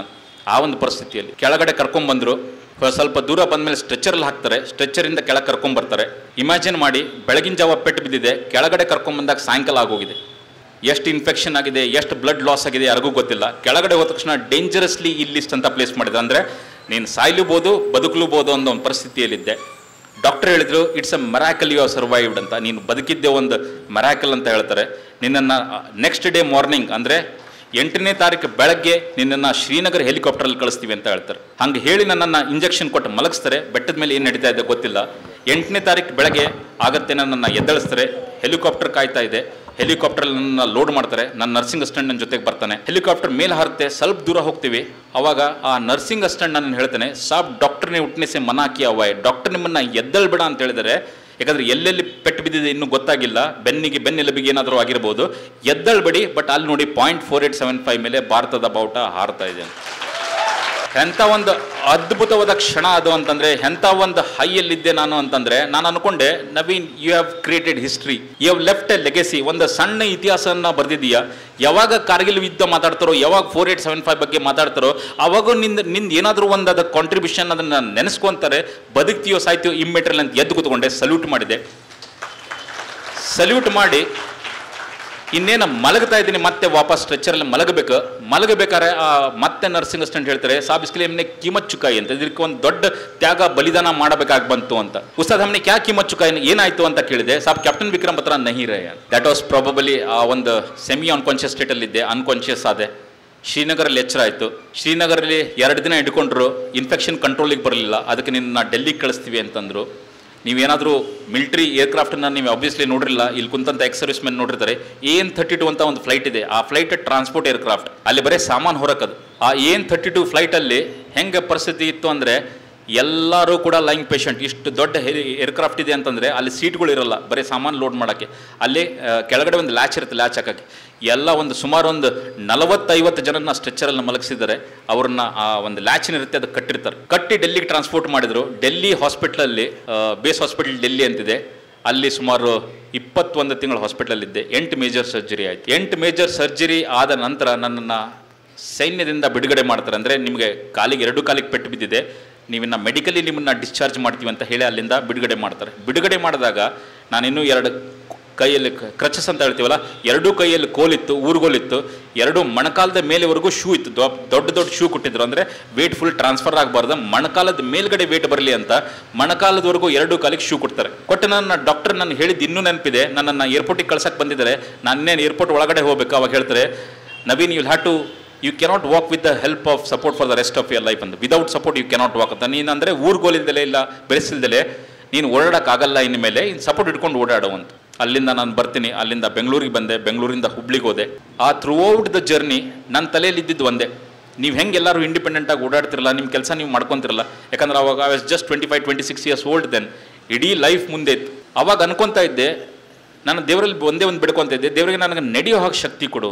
ಬಂದ ನಂತರ ಫಿಸಿಯೋಥೆರಪಿ ಮಾಡ್ತೀನಿ. ಫಿಸಿಯೋಥೆರಪಿ ಹೆಂಗಿತ್ತು ಅಂತಂದ್ರೆ ಒಂದು ಅರ್ಧ ಗಂಟೆ ಫಿಸಿಯೋಥೆರಪಿ ಮಾಡಿದ್ರೆ ಎರಡು ಗಂಟೆ ಕಾಲು ನೋವು ಆಗ್ತಿತ್ತು, ಆದರೂ ಬಿಡ್ಲಿಲ್ಲ. ಒಂದು ಸಮಯ ಹೇಗೆ ಬಂತು ಅಂದ್ರೆ ಒಂದು ಕ್ರಚಸ್ನ ತೆಗೆದೆ, ಎರಡು ಕ್ರಚಸ್ನ ತೆಗೆದೆ, ಒಂದು ಬ್ರೇಸ್ನ ತೆಗೆದೆ, ಎರಡು ಬ್ರೇಸ್ನ ತಗದೆ. ದೇವ್ರ ದೊಡ್ಡವರು ನಮ್ಮ ತಂದೆ ತಾಯಿ ಮಾಡಿದ ಒಂದು ಒಳ್ಳೆ ಡೀಡ್ಸ್ ಇರ್ಬೋದು, ನಿಮ್ಮೆಲ್ಲರ ಹಿರಿಯರ ಆಶೀರ್ವಾದ ಇವತ್ತೇನು ಸಪೋರ್ಟ್ ಇಲ್ಲದೆ ಓಡಾಡ್ತೀನಿ. ಇನ್ನು ಒಂದೇ ಒಂದು ಘಟನೆಯನ್ನು ಹೇಳಿ ನನ್ನ ಮಾತನ್ನು ಮುಗಿಸ್ತೇನೆ. ಅದಾದ ನಂತರ ವಾಪಸ್ ಸೇನೆಗೆ ಬಿಟ್ಟು ಬಂದ ನಂತರ ಈ ಒಂದು ಇಪ್ಪತ್ತು ವರ್ಷದಲ್ಲಿ ರೋಹಿತ್ ಚಕ್ರತೀರ್ಥ ಸರ್ ಹೇಳ್ತಿದ್ರು, ಹೆಂಗೆ ನಡೀತಾ ಇದೆ ನಮ್ಮ ಸಮಾಜ? ನಮ್ಮ ಲೀಡರ್ಸ್ ಅಂತ ಏನು ಹೇಳ್ತೀವಿ, ಅವ್ರನ್ನ ನಮ್ಮನ್ನು ಹೇಗೆ ನಡೆಸ್ಕೊಂತಾ ಇದ್ದಾರೆ. ನಾನು ಈ ಒಂದು ಈ ಒಂದು ಇನ್ಸಿಡೆಂಟ್ ಅನ್ನ ಯಾರ ಜೊತೆಗೂ ಶೇರ್ ಮಾಡ್ಕೊಂತಾ ಇಲ್ಲ. ಮಾಡ್ಕೊಳಲ್ಲ ಇವತ್ತು ಬಟ್ ನನಗೆ ಏನೇನೋ ಫೆಸಿಲಿಟೀಸ್ ಬರಬೇಕಾಗಿತ್ತು ಅಗ್ರಿಕಲ್ಚರ್ ಲ್ಯಾಂಡ್ ಕೊಡ್ತೀವಿ, ಅದು ಕೊಡ್ತೀವಿ, ಇದು ಕೊಡ್ತೀವಿ ಅಂತ ಹೇಳಿದ್ರು. ಅದೆಲ್ಲ ಬರಲಿಲ್ಲ ಅದಕ್ಕೆ ಬೇಜಾರನೂ ಇಲ್ಲ. ಬೇಕಂದ್ರೆ ಅದನ್ನ ಅದಕ್ಕೋಸ್ಕರ ನಾನು ಓಡಾಡಿರಲಿಲ್ಲ. ಬಟ್ ಈ ಥರ ಸೈನಿಕರಿಗೆ ಅಸಹ್ಯವಾಗಿ ಮಾತಾಡ್ತಾರಲ್ಲ, ದುಡ್ಡಿಲ್ಲ ಅಂತ ಹೋಗಿ ಸೇರ್ಕೊಂತಾರೆ. ಚೀಫ್ ಆಫ್ ಆರ್ಮಿ ಸ್ಟಾಫಿಗೆ ಸಡಕ್ಕ ಗುಂಡ ಅಂತ ಕರೀತಾರೆ. ಅಂದರೆ ನಮಗೆ ಒಂದು ಚೀಫ್ ಆಫ್ ಆರ್ಮಿ ಸ್ಟಾಫ್ ಅಂದರೆ ನಮಗೆ ದೇವರಿದ್ದಂಗೆ. ಆ ದೇವರಿಗೆ ಸಡಕ್ಕ ಗುಂಡ ಅಂತ ಕರೀತಾರೆ. ಸೈನಿಕರು ಫ್ರೀ ರಮ್ ಸಿಗುತ್ತೆ, ಮಾಂಸ ಸಿಗುತ್ತೆ ಅಂತ ಹೋಗಿ ಸೇರ್ಕೊತಾರೆ. ಇದನ್ನೆಲ್ಲ ಕೇಳಿದಾಗ ಭಾಳ ಬೇಜಾರಾಗ್ತಿತ್ತು. ಒಂದು ವೇಳೆ ಸೆವೆಂತ್ ಜುಲೈ ನೈನ್ಟೀನ್ ನೈನ್ಟಿ ನೈನ್ಗೆ ನನಗೆ ಪೆಟ್ಟು ಬಿದ್ದಿತ್ತು. ಕ್ಯಾಪ್ಟನ್ ವಿಕ್ರಮ್ ಬತ್ರ ಅವರು ಅವತ್ತೇ ತಿಳ್ಕೊಂಡಿದ್ದು. ಇಪ್ಪತ್ತು ವರ್ಷದ ನಂತರ ಸೆವೆಂತ್ ಜುಲೈ ಟೂ ತೌಸಂಡ್ ನೈನ್ಟೀನಿಗೆ ನನ್ನ ಇಡೀ ಟೀಮನ್ನು ಆರ್ಮಿ ಕರ್ಕೊಂಡು ಹೋಯ್ತು. ಕರ್ಕೊಂಡು ಹೋಗಿ ನನಗೆ ಎಲ್ಲಿ ಪೆಟ್ಟು ಬಿದ್ದಿತ್ತು ಕ್ಯಾಪ್ಟನ್ ವಿಕ್ರಮ್ ಬತ್ರ ಅವರು ಎಲ್ಲಿ ತೀರ್ಕೊಂಡಿದ್ರು, ಅದೇ ಬೆಟ್ಟದ ಮೇಲೆ ಹೆಲಿಕಾಪ್ಟರ್ ಹೋಗಿ ಡ್ರಾಪ್ ಮಾಡಿದ್ರು. ಹದಿನೇಳು ಸಾವಿರ ಅಡಿ ಎತ್ತರದಲ್ಲಿ, ಅಲ್ಲಿ ನಿಂತ್ಕೊಂಡು ಭಾರತದ ಬಾವುಟವನ್ನ ರಾಜ್ಯಾರೋಷವಾಗಿ ಹಾರಿಸಿದದನ್ನ ನೋಡಿ ಸಲ್ಯೂಟ್ ಮಾಡಿ, ಇದಕ್ಕೂ ನೀನು ನೀನು ಒಂದು ಕಾರಣ ಅಂತೇನು ಇದೆಯಲ್ಲ ಐ ಫೆಲ್ಟ್ ಅದನ್ನ ಸಲ್ಯೂಟ್ ಮಾಡಿದಾಗ I felt I lived my life there is nothing to look forward to ಜೀವನದಲ್ಲಿ, ನನ್ನ ಜೀವನದಲ್ಲಿ ನನಗಿನ್ ಏನೂ ಬೇಕಾಗಿಲ್ಲ, ಇವಾಗೆ ಕೂಡ ಸತ್ರು ಪರವಾಗಿಲ್ಲ. ಒಂದು ಹದಿನೇಳು ಸಾವಿರದ ಅಡಿ ಮೇಲೆ ಭಾರತದ ಬಾವುಟವನ್ನು ರಾಜ್ಯ ರೋಷವಾಗಿ ಹಾರಾಡಿದ್ದನ್ನು ಕಂಡು ಅಷ್ಟು ಸಂತೋಷ ಆಯಿತು. ಬಂಧುಗಳೇ ಇವತ್ತು ನಾವು ಕಾರ್ಗಿಲ್ ವಿಜಯ ದಿವಸವನ್ನು ಆಚರಿಸ್ತಾ ಇದ್ದೀವಿ. ಇವತ್ತು ನೀವು ಕ್ಯಾಪ್ಟನ್ ನವೀನ್ ನಾಗಪ್ಪನ ಇಲ್ಲಿ ನಿಂತ್ಕೊಂಡ್ರಿ, ನೋಡಿದ್ರಿ, ಚಪ್ಪಾಳೆ ತಟ್ಟಿದ್ರಿ, ಬಟ್ ನಾವೇನು ನೆನಪು ಮಾಡ್ಕೋಬೇಕು ಅಂತಂದರೆ ಕಾರ್ಗಿಲ್ ಯುದ್ಧದಲ್ಲಿ ಐನೂರ ಇಪ್ಪತ್ತೇಳು ಜನ five hundred and twenty seven soldier sacrifice their life ಐನೂರ ಇಪ್ಪತ್ತೇಳು ಜನ ತಮ್ಮ ಪ್ರಾಣವನ್ನು ತ್ಯಾಗ ಮಾಡಿದರು. ಸಾವಿರದ ಮುನ್ನೂರಕ್ಕೂ ಹೆಚ್ಚು ಜನ ಪೂರ್ಣ ಅಂಗವಿಕಲ, ಎಷ್ಟೋ ಜನ ಇವತ್ತಿಗೂ ಕೂಡ life has never been the same again ಎಲ್ಲೋ ಪೆಟ್ಟು ತಿಂದರೆ ಮೊದಲನೇ ಒರಿಜಿನಲ್ ಥರ ಆಗ್ಲಿ, ಆಗಲಿಕ್ಕಿಲ್ಲ. ಆ ಐನೂರ ಇಪ್ಪತ್ತೇಳು ಜನ ಮತ್ತೆ ಸಾವಿರದ ಮುನ್ನೂರಕ್ಕೆ ಹೆಚ್ಚು ಜನಕ್ಕೆ ಏನು ಪೆಟ್ಟು ಬಿದ್ದಿದ್ದಲ್ಲ, ಅವರಿಗೆ ಈ ಚಪ್ಪಾಳೆ, ಅವರಿಗೆ ಸನ್ಮಾನ ಸಲ್ಲಬೇಕಾಗಿತ್ತು ಅಂತ ಹೇಳಲಿಕ್ಕೆ ಸರ್ ಉತ್ತಿಷ್ಟ ಭಾರತದವರು ಒಂದು ಅದ್ಭುತವಾದ ಕೆಲಸ ಮಾಡ್ತಾ ಇದ್ದಾರೆ. ಇಪ್ಪತ್ನಾಲ್ಕನೇ ವರ್ಷದ ಇಂಥ ಒಂದು ಕಾರ್ಯಕ್ರಮನ ಆಯೋಜಿಸಿದ್ರಿ. ಪಾಠ್ಯಪುಸ್ತಕಗಳಲ್ಲಿ ರೋಹಿತ್ ಸರ್ ಹೇಳಿದಾಗೆ ಪಾಠ್ಯಪುಸ್ತಕಗಳಲ್ಲಿ ನಾವು ಇದನ್ನ ಇನ್ಕ್ಲೂಡ್ ಮಾಡಲಿಲ್ಲ, ದುರಾದೃಷ್ಟ, ನಮ್ಮ ಮಕ್ಕಳಿಗೆ ಇದು ಗೊತ್ತಾಗಲಿಲ್ಲ ಅಂತ ಅದಕ್ಕೋಸ್ಕರ ಈ ಥರ ಫಂಕ್ಷನ್ಗಳು ನಡಿಬೇಕು, ಹೆಚ್ಚಾಗಿ ನಡಿಬೇಕು. ಮುಂದಿನ ವರ್ಷ ಟ್ವೆಂಟಿ ಸಿಕ್ಸ್ ಜುಲೈಗೆ ನಿಮ್ಮಲ್ಲಿ ಒಂದು ಸಣ್ಣ ಬೇಡಿಕೆ, ಮುಂದಿನ ವರ್ಷ ಇಪ್ಪತ್ತೈದು ವರ್ಷ ಆಗುತ್ತೆ. ನಾವು ಹಬ್ಬವನ್ನು ಹೇಗೆ ಆಚರಿಸ್ತೀವೋ, ದೀಪಾವಳಿ ಆಚರಿಸ್ಬೇಕಾದ್ರೆ ಮನೆ ಮುಂದೆ ಹಿಂಗೆ ದೀಪ ಇಡ್ತೀವೋ, ಆ ಟ್ವೆಂಟಿ ಸಿಕ್ಸ್ ಜುಲೈನೂ ಕೂಡ ನಾವು ದೀಪಾವಳಿ ಥರ ಆಚರಿಸಿ ಒಂದು ಸಣ್ಣ, ಆ ಐನೂರ ಇಪ್ಪತ್ತೇಳು ಜನರ ನೆನಪಿಗೋಸ್ಕರ ಆ ಸಣ್ಣ ದೀಪವನ್ನೆಲ್ಲ ಹಚ್ಚಬೋದಲ್ಲ ಉತ್ತಿಷ್ಟ ಭಾರತದ ರಾಘವೇಂದ್ರ ಅವರಿಗೆ ಮತ್ತು ಎಲ್ಲ ಪದಾಧಿಕಾರಿಗಳಿಗೆ ನನಗೆ ಒಂದು ಅವಕಾಶ ಕೊಟ್ಟಿದ್ದಕ್ಕೆ ಧನ್ಯವಾದಗಳನ್ನು ಸಲ್ಲಿಸ್ತೇನೆ ಜೈ ಹಿಂದ್.